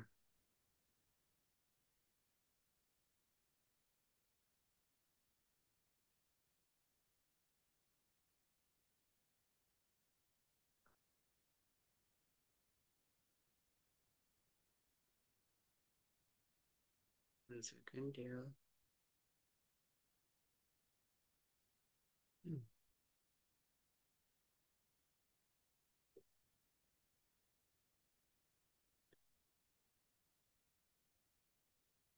സാ- സാറേ ഏഹ്, ഒന്ന് നോക്കണേ ഞാൻ ഓക്കെ കേൾക്കാമോ കേൾക്കാം okay Okay, now we start, yeah. Okay, let us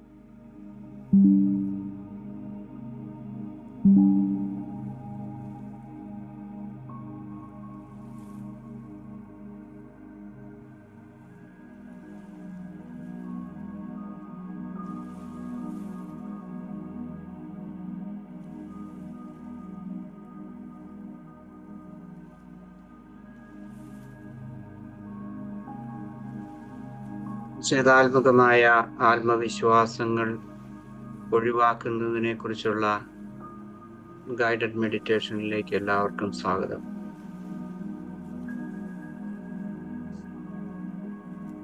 നിഷേധാത്മകമായ ആത്മവിശ്വാസങ്ങൾ തിരിച്ചറിയുന്നതിനും അവയിൽ നിന്ന് മോചനം നേടുന്നതിനും ശ്രദ്ധ കേന്ദ്രീകരിക്കുന്നതിനും വേണ്ടിയിട്ടാണ് ഇന്നത്തെ മെഡിറ്റേഷൻ.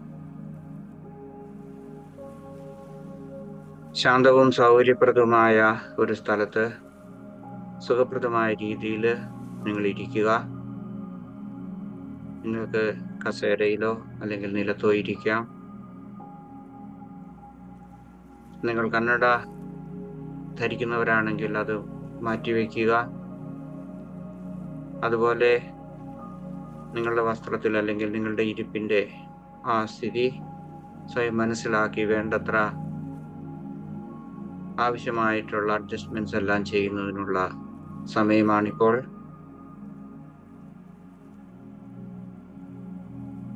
നിങ്ങൾ മെഡിറ്റേഷന് ധ്യാനത്തിന് തയ്യാറായെങ്കിൽ നിങ്ങൾക്ക് സാവധാനം നിങ്ങളുടെ കണ്ണുകൾ അടയ്ക്കാം.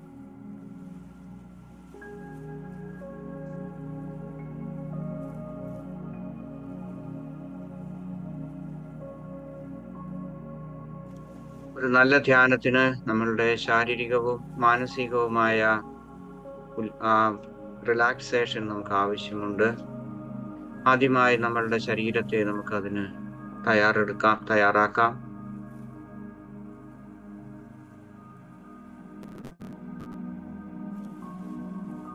ഒരു ദീർഘമായ ശ്വാസം ആദ്യമായിട്ട് നമുക്ക് എടുത്ത് എടുക്കാം. സാവധാനം നമ്മളുടെ ലങ്സിലേക്ക് വായുവിനെ പ്രവേശിപ്പിക്കുക.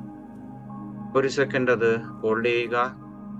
അതിനുശേഷം സാവധാനം നമ്മുടെ വായുവിനെ നമുക്ക് റിലീസ് ചെയ്യാം.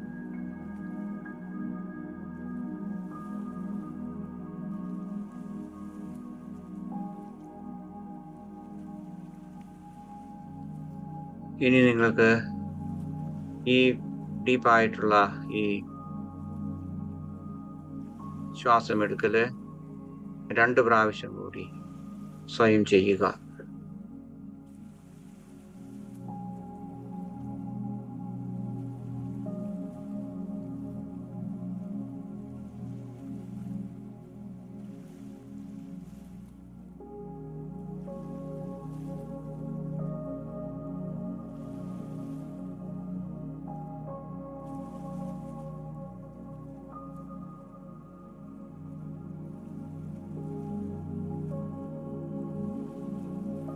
ശരീരം പൂർണമായും വിശ്രമത്തിലാണോ എന്നൊന്നറിയുന്നതിന് വേണ്ടി നമുക്ക് നമുക്ക് ഒരു ബോഡി സ്കാൻ പെട്ടെന്ന് ഒരു നമുക്ക് നടത്താം.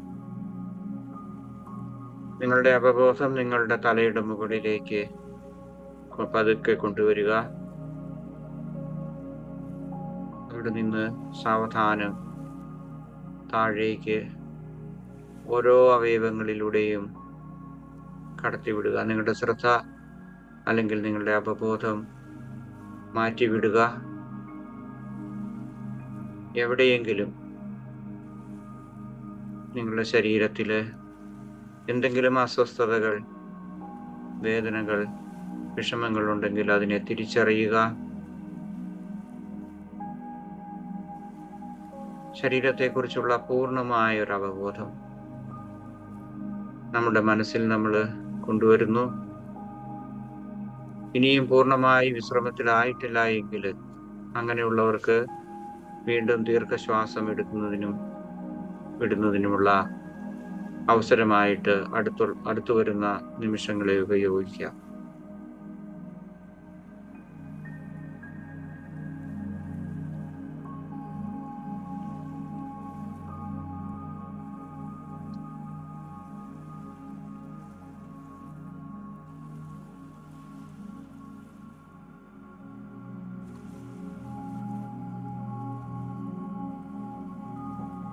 അടുത്തത് നമ്മളുടെ മാനസികമായ അവസ്ഥയെക്കുറിച്ചുള്ള ഒരു അവബോധം നമ്മൾ സൃഷ്ടിക്കാൻ ശ്രമിക്കുകയാണ്.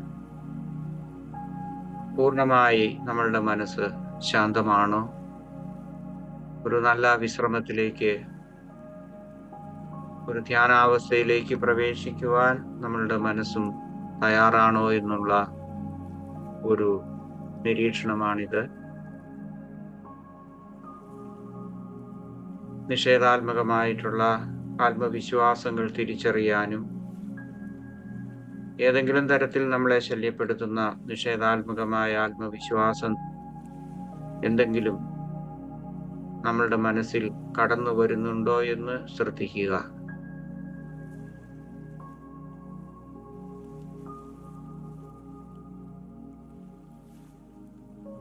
ഒരുപക്ഷെ ചിലരെ സംബന്ധിച്ചിടത്തോളം ഈ ധ്യാനം തന്നെ നടത്തുന്നതിനുള്ള ഒരു ആത്മവിശ്വാസക്കുറവുണ്ടാകും. നിങ്ങളുടെ കാലാവസ്ഥ അല്ലെങ്കിൽ പുറമേ നിന്നോ മറ്റോ ഉണ്ടാകുന്ന ശബ്ദം നിങ്ങളുടെ ശാരീരികമായ അസ്വാസ്ഥ്യങ്ങൾ ഇങ്ങനെയുള്ളത് അല്ലെങ്കിൽ നിങ്ങൾക്ക് ശ്രദ്ധ കേന്ദ്രീകരിക്കാൻ കഴിയുന്നില്ല എന്നുള്ള ഒരു ആത്മവിശ്വാസക്കുറവ് ഇതെല്ലാം നമ്മുടെ മനസ്സിൽ ഇപ്പോൾ ഉടലെടുക്കാൻ സാധ്യതയുണ്ട്.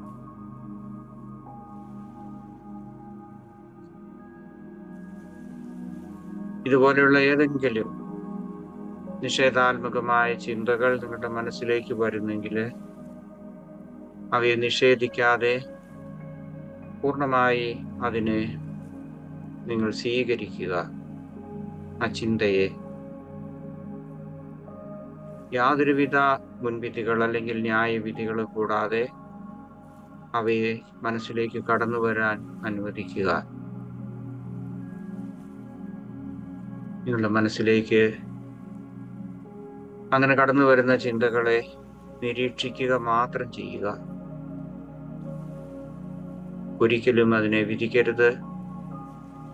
അത് വേണ്ട എന്ന് വയ്ക്കരുത് അതിനെ തള്ളിക്കളയാൻ വേണ്ടി ശ്രമിക്കരുത്. അത് വരട്ടെ.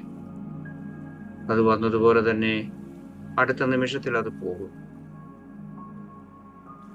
പോകുന്നില്ല അത് അവിടെ ഉറച്ചു നിൽക്കുകയാണെങ്കിൽ അതിനെ പൂർണ മനസ്സോടെ സ്വീകരിക്കാൻ ശ്രമിക്കുമ്പോൾ അങ്ങനെയുള്ള ചിന്തകൾ സാവധാനം പൊയ്ക്കൊള്ളും.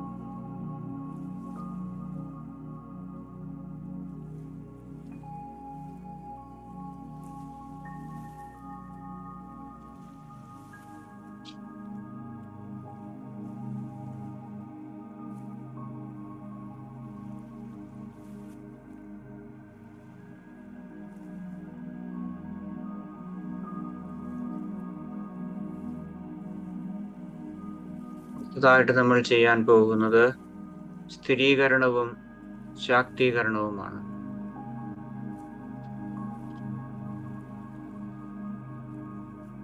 ഏതെങ്കിലും തരത്തിൽ ഒരു ആത്മവിശ്വാസക്കുറവിന്റെ ചിന്ത ഇപ്പോഴും നിങ്ങളുടെ മനസ്സിലുണ്ടെങ്കിൽ എന്നോടൊത്ത് നിങ്ങൾ ഏറ്റുപറയുക. നിങ്ങൾക്കൊന്നുകിൽ മനസ്സിൽ പറയാം അല്ലെങ്കിൽ ഉറക്കെ പറയാം. പറയാനുള്ള ആ മന്ത്രം ഇതാണ്. എനിക്ക് ആത്മവിശ്വാസവും കഴിവുമുണ്ട്.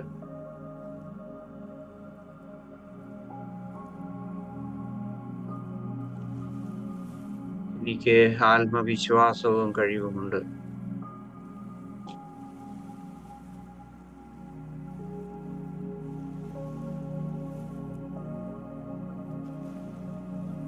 എനിക്ക് ആത്മവിശ്വാസവും കഴിവുമുണ്ട്.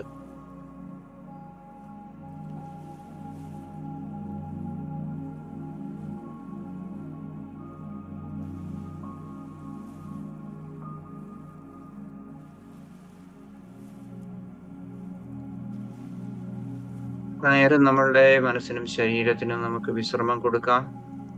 അതിനുവേണ്ടി നമ്മളുടെ സ്വാഭാവികമായ ആ ശ്വാസോച്ഛ്വാസത്തെ നിരീക്ഷിച്ചുകൊണ്ട് അല്പസമയം നമുക്ക് ചിലവഴിക്കാം.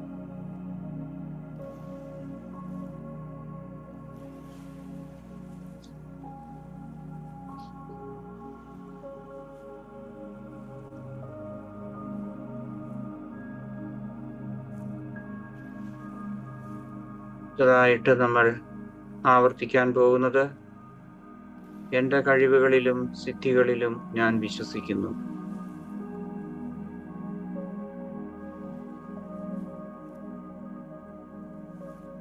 എന്റെ കഴിവുകളിലും സിദ്ധികളിലും ഞാൻ വിശ്വസിക്കുന്നു.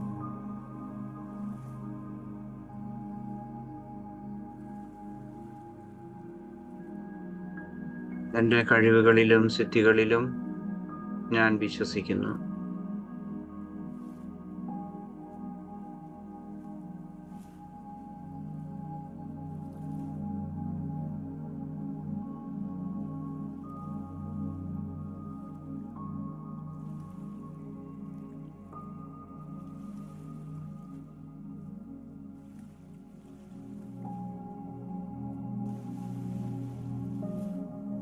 ഇനിയും ആവർത്തിക്കാം.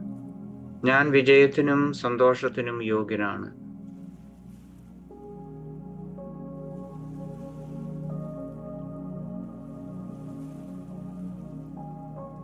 ഞാൻ വിജയത്തിനും സന്തോഷത്തിനും യോഗ്യനാണ്.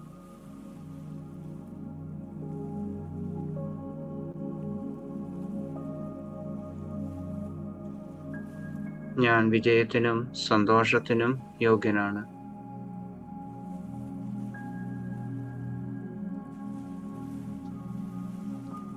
വീണ്ടും നമുക്ക് അല്പസമയം നമ്മളുടെ ശ്വാസോച്ഛ്വാസത്തെ സ്വാഭാവികമായ ശ്വാസോച്ഛ്വാസത്തെ നിരീക്ഷിക്കാം.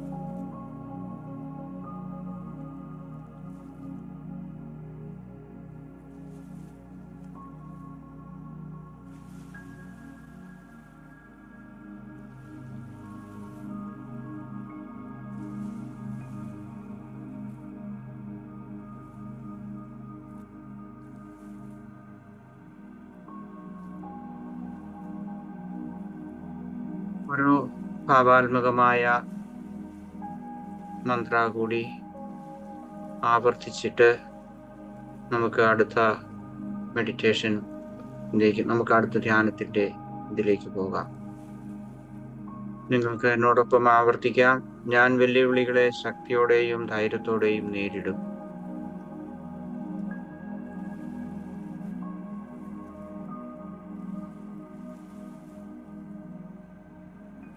ഞാൻ വെല്ലുവിളികളെ ശക്തിയോടെയും ധൈര്യത്തോടെയും നേരിടും.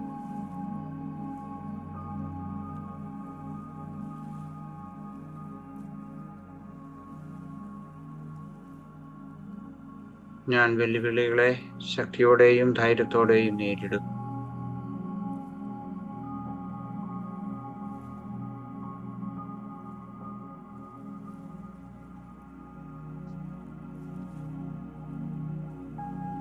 അടുത്ത ഏതാനും നിമിഷം നമുക്ക് നമ്മളുടെ സ്വാഭാവികമായ ശ്വാസോച്ഛ്വാസത്തിലേക്ക് തിരികെ പോകാം. ശാന്തമായി സമാധാനത്തോടെ ആ ശ്വാസോച്ഛ്വാസത്തെ നിരീക്ഷിച്ച് നമുക്ക് നമ്മുടെ ധ്യാനം തുടരാം.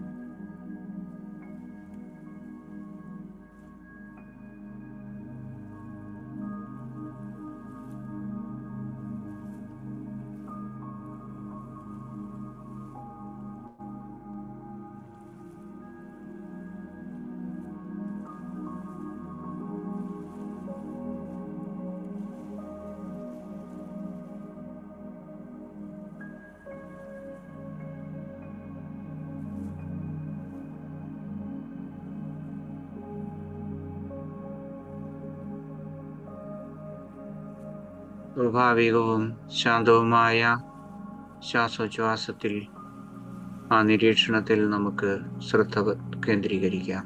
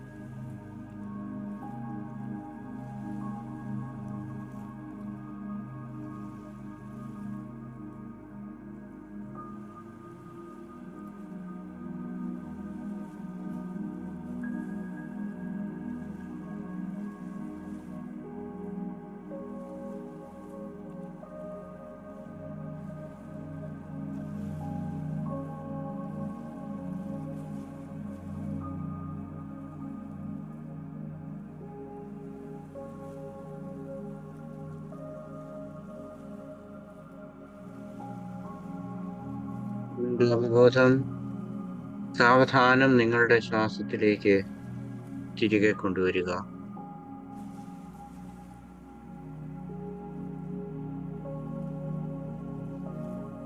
ഇനി നിങ്ങളുടെ അവബോധം വീണ്ടും നിങ്ങളുടെ ശരീരത്തിലേക്ക് കൊണ്ടുവരിക. പൂർണമായിട്ടും നിങ്ങളുടെ ശരീരത്തെക്കുറിച്ചുള്ള ഒരു അവബോധം നെറുക തൊട്ട് കാൽപാദങ്ങൾ വരെ വിരലുകളെല്ലാം ഒന്ന് ശ്രദ്ധിക്കുക. ആ അവബോധം വീണ്ടും വീണ്ടെടുക്കുക.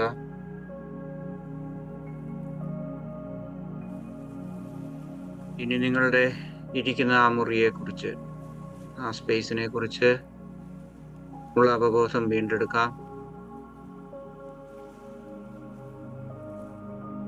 നിങ്ങളുടെ ശരീരത്തെ താങ്ങി നിർത്തുന്ന കസേര അല്ലെങ്കിൽ ആ തറ അതേക്കുറിച്ച് അവബോധം വീണ്ടെടുക്കുക. അവസാനമായി നിങ്ങളിരിക്കുന്ന നിങ്ങളുടെ ആ മുറി അതുപോലെ ആ ചുറ്റുപാടുകളെ കുറിച്ച് അവിടെ നിന്ന് കേൾക്കുന്ന ശബ്ദങ്ങളെ കുറിച്ച് എല്ലാം അവബോധമുള്ളവരാകുക അങ്ങനെ നമ്മൾ ധ്യാനം തുടങ്ങുന്ന ആ തുടങ്ങാ തുടങ്ങിയ ആ അവസ്ഥയിലേക്ക് നമ്മളുടെ മനസ്സിനെയും ശരീരത്തെയും തിരികെ കൊണ്ടുവരിക. നിങ്ങൾ തയ്യാറായി കഴിഞ്ഞാൽ നിങ്ങൾക്ക് സാവധാനം നിങ്ങളുടെ കണ്ണുകൾ തുറക്കാം. ധ്യാനം അവസാനിച്ചു.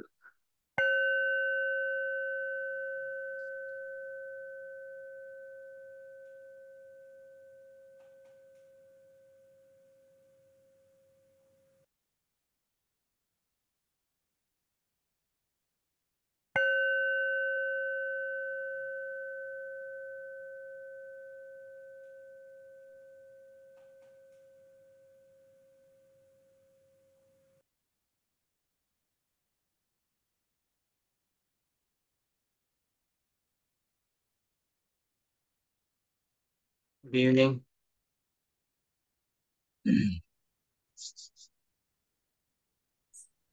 thank you sir yes sir ആ ഒരു സംശയം. മ്യൂസിക് നിങ്ങൾ കേട്ടായിരുന്നോ? കേട്ടോ സാർ കേട്ടോ. കേൾക്കാം. ഞാൻ ഇന്ന് സൂമിന്റെ ഒരു അപ്ഡേറ്റ് നടത്തിയായിരുന്നു. ഞാൻ ചെയ്തതല്ല അവരെന്നോട് പറഞ്ഞിട്ട്. അത് കഴിഞ്ഞപ്പോഴേക്കും ആ മെനു എല്ലാം മാറിപ്പോയി. അതുകൊണ്ട് എനിക്കൊരു സംശയം. ആ കുഴപ്പമില്ല. കുഴപ്പമില്ലായിരുന്നു. ഓക്കെ. ഞാൻ ഇന്ന് മലയാളത്തിൽ നടത്താനുള്ള കാരണം കഴിഞ്ഞ ദിവസം ആരോ ബുദ്ധിമുട്ടുള്ളവരുണ്ട് മലയാ ഇംഗ്ലീഷ് പറയുമ്പോൾ അപ്പൊ അതുകൊണ്ട് ഞാൻ തൊട്ട് ഇനി മലയാളം നടത്താമെന്ന് പറഞ്ഞു. നിങ്ങൾക്ക് അഭിപ്രായം പറയാം. മലയാളമാണോ ഇംഗ്ലീഷാണോ വേണ്ടതെന്ന്? ചിലർക്ക് അത് മലയാള ഇംഗ്ലീഷ് ബുദ്ധിമുട്ടാണെന്ന് തോന്നുന്നു. വളരെ വളരെ നന്നായിരുന്നു സാർ. ആ ഓക്കെ. മലയാളമാണ് നല്ലത് സാർ. കാരണം അത് കൂടുതൽ മലയാളമാണ് നല്ലത്. ഓക്കെ. മലയാളം ഞാൻ ഇനി പഠിക്കണം. ഇത് നടത്താൻ വേണ്ടിയിട്ട് ആ, അങ്ങനെയെങ്കിലും മലയാളം പഠിക്കട്ടെ അല്ലേ? അതെ. ആ, റോയ് സാർ മലയാളം ആകുമ്പോ എല്ലാവർക്കും പറ്റും. ഇംഗ്ലീഷ് ആകുമ്പോൾ കുറച്ച് പേർക്കേ പറ്റും. ആ ഓക്കെ.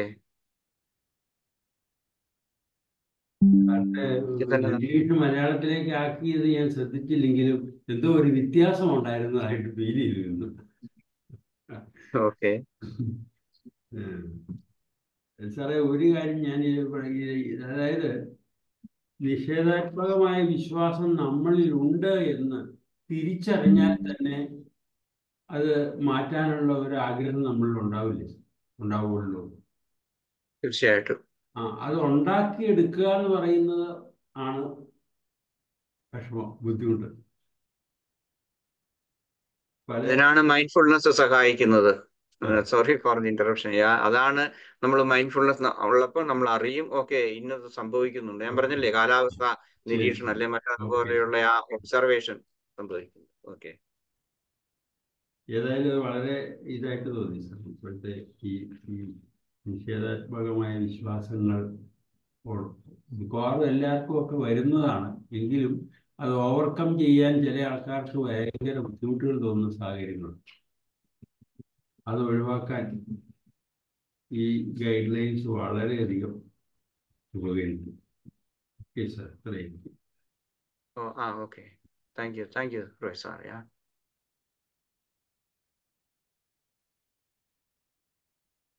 George, sir.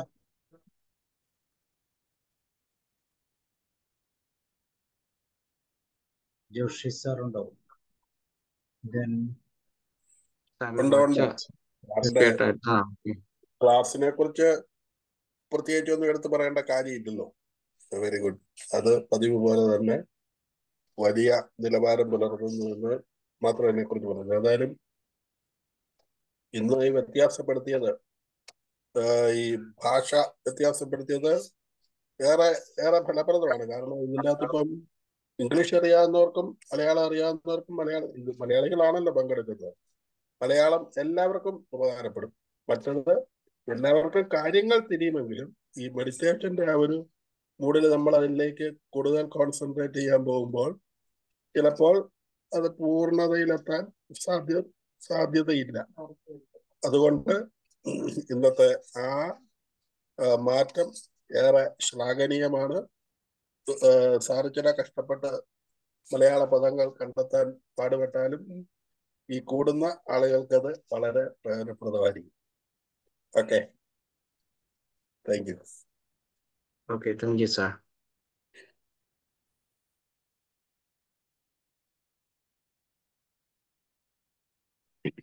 Okay.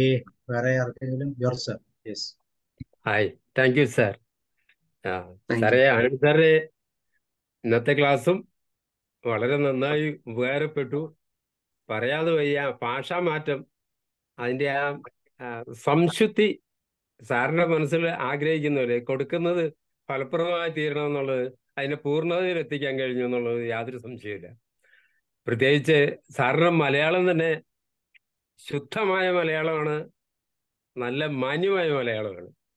നമ്മുടെ നാട്ടിൽ മലയാളത്തെക്കാൾ പലപ്പോഴും എനിക്ക് തോന്നിയിട്ടുണ്ട്. എങ്ങനെ ഇത്രയും ക്ലാരിറ്റിയോടുകൂടി പറയാൻ കഴിയുന്നു എന്ന് പലപ്പോഴും തോന്നിയിട്ടുണ്ട്. പല വാക്കുകൾക്കും ആ ഒരു പ്രത്യേകതയുണ്ട്.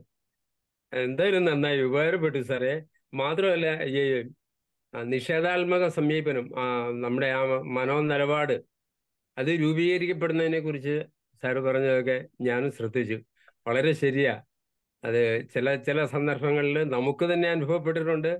പലരുടെ അനുഭവങ്ങളിൽ പങ്കുകൊള്ളാനും കഴിഞ്ഞിട്ടുണ്ട്. അത് ഒരു പരിധി വരെ പറഞ്ഞാൽ ജന്മന കിട്ടുന്നതല്ലല്ലോ. നമ്മൾ ആർജിച്ചെടുത്ത നമ്മുടെ ചുറ്റുപാടുകൾ നമുക്ക് സംഭാവന നൽകിയതാ.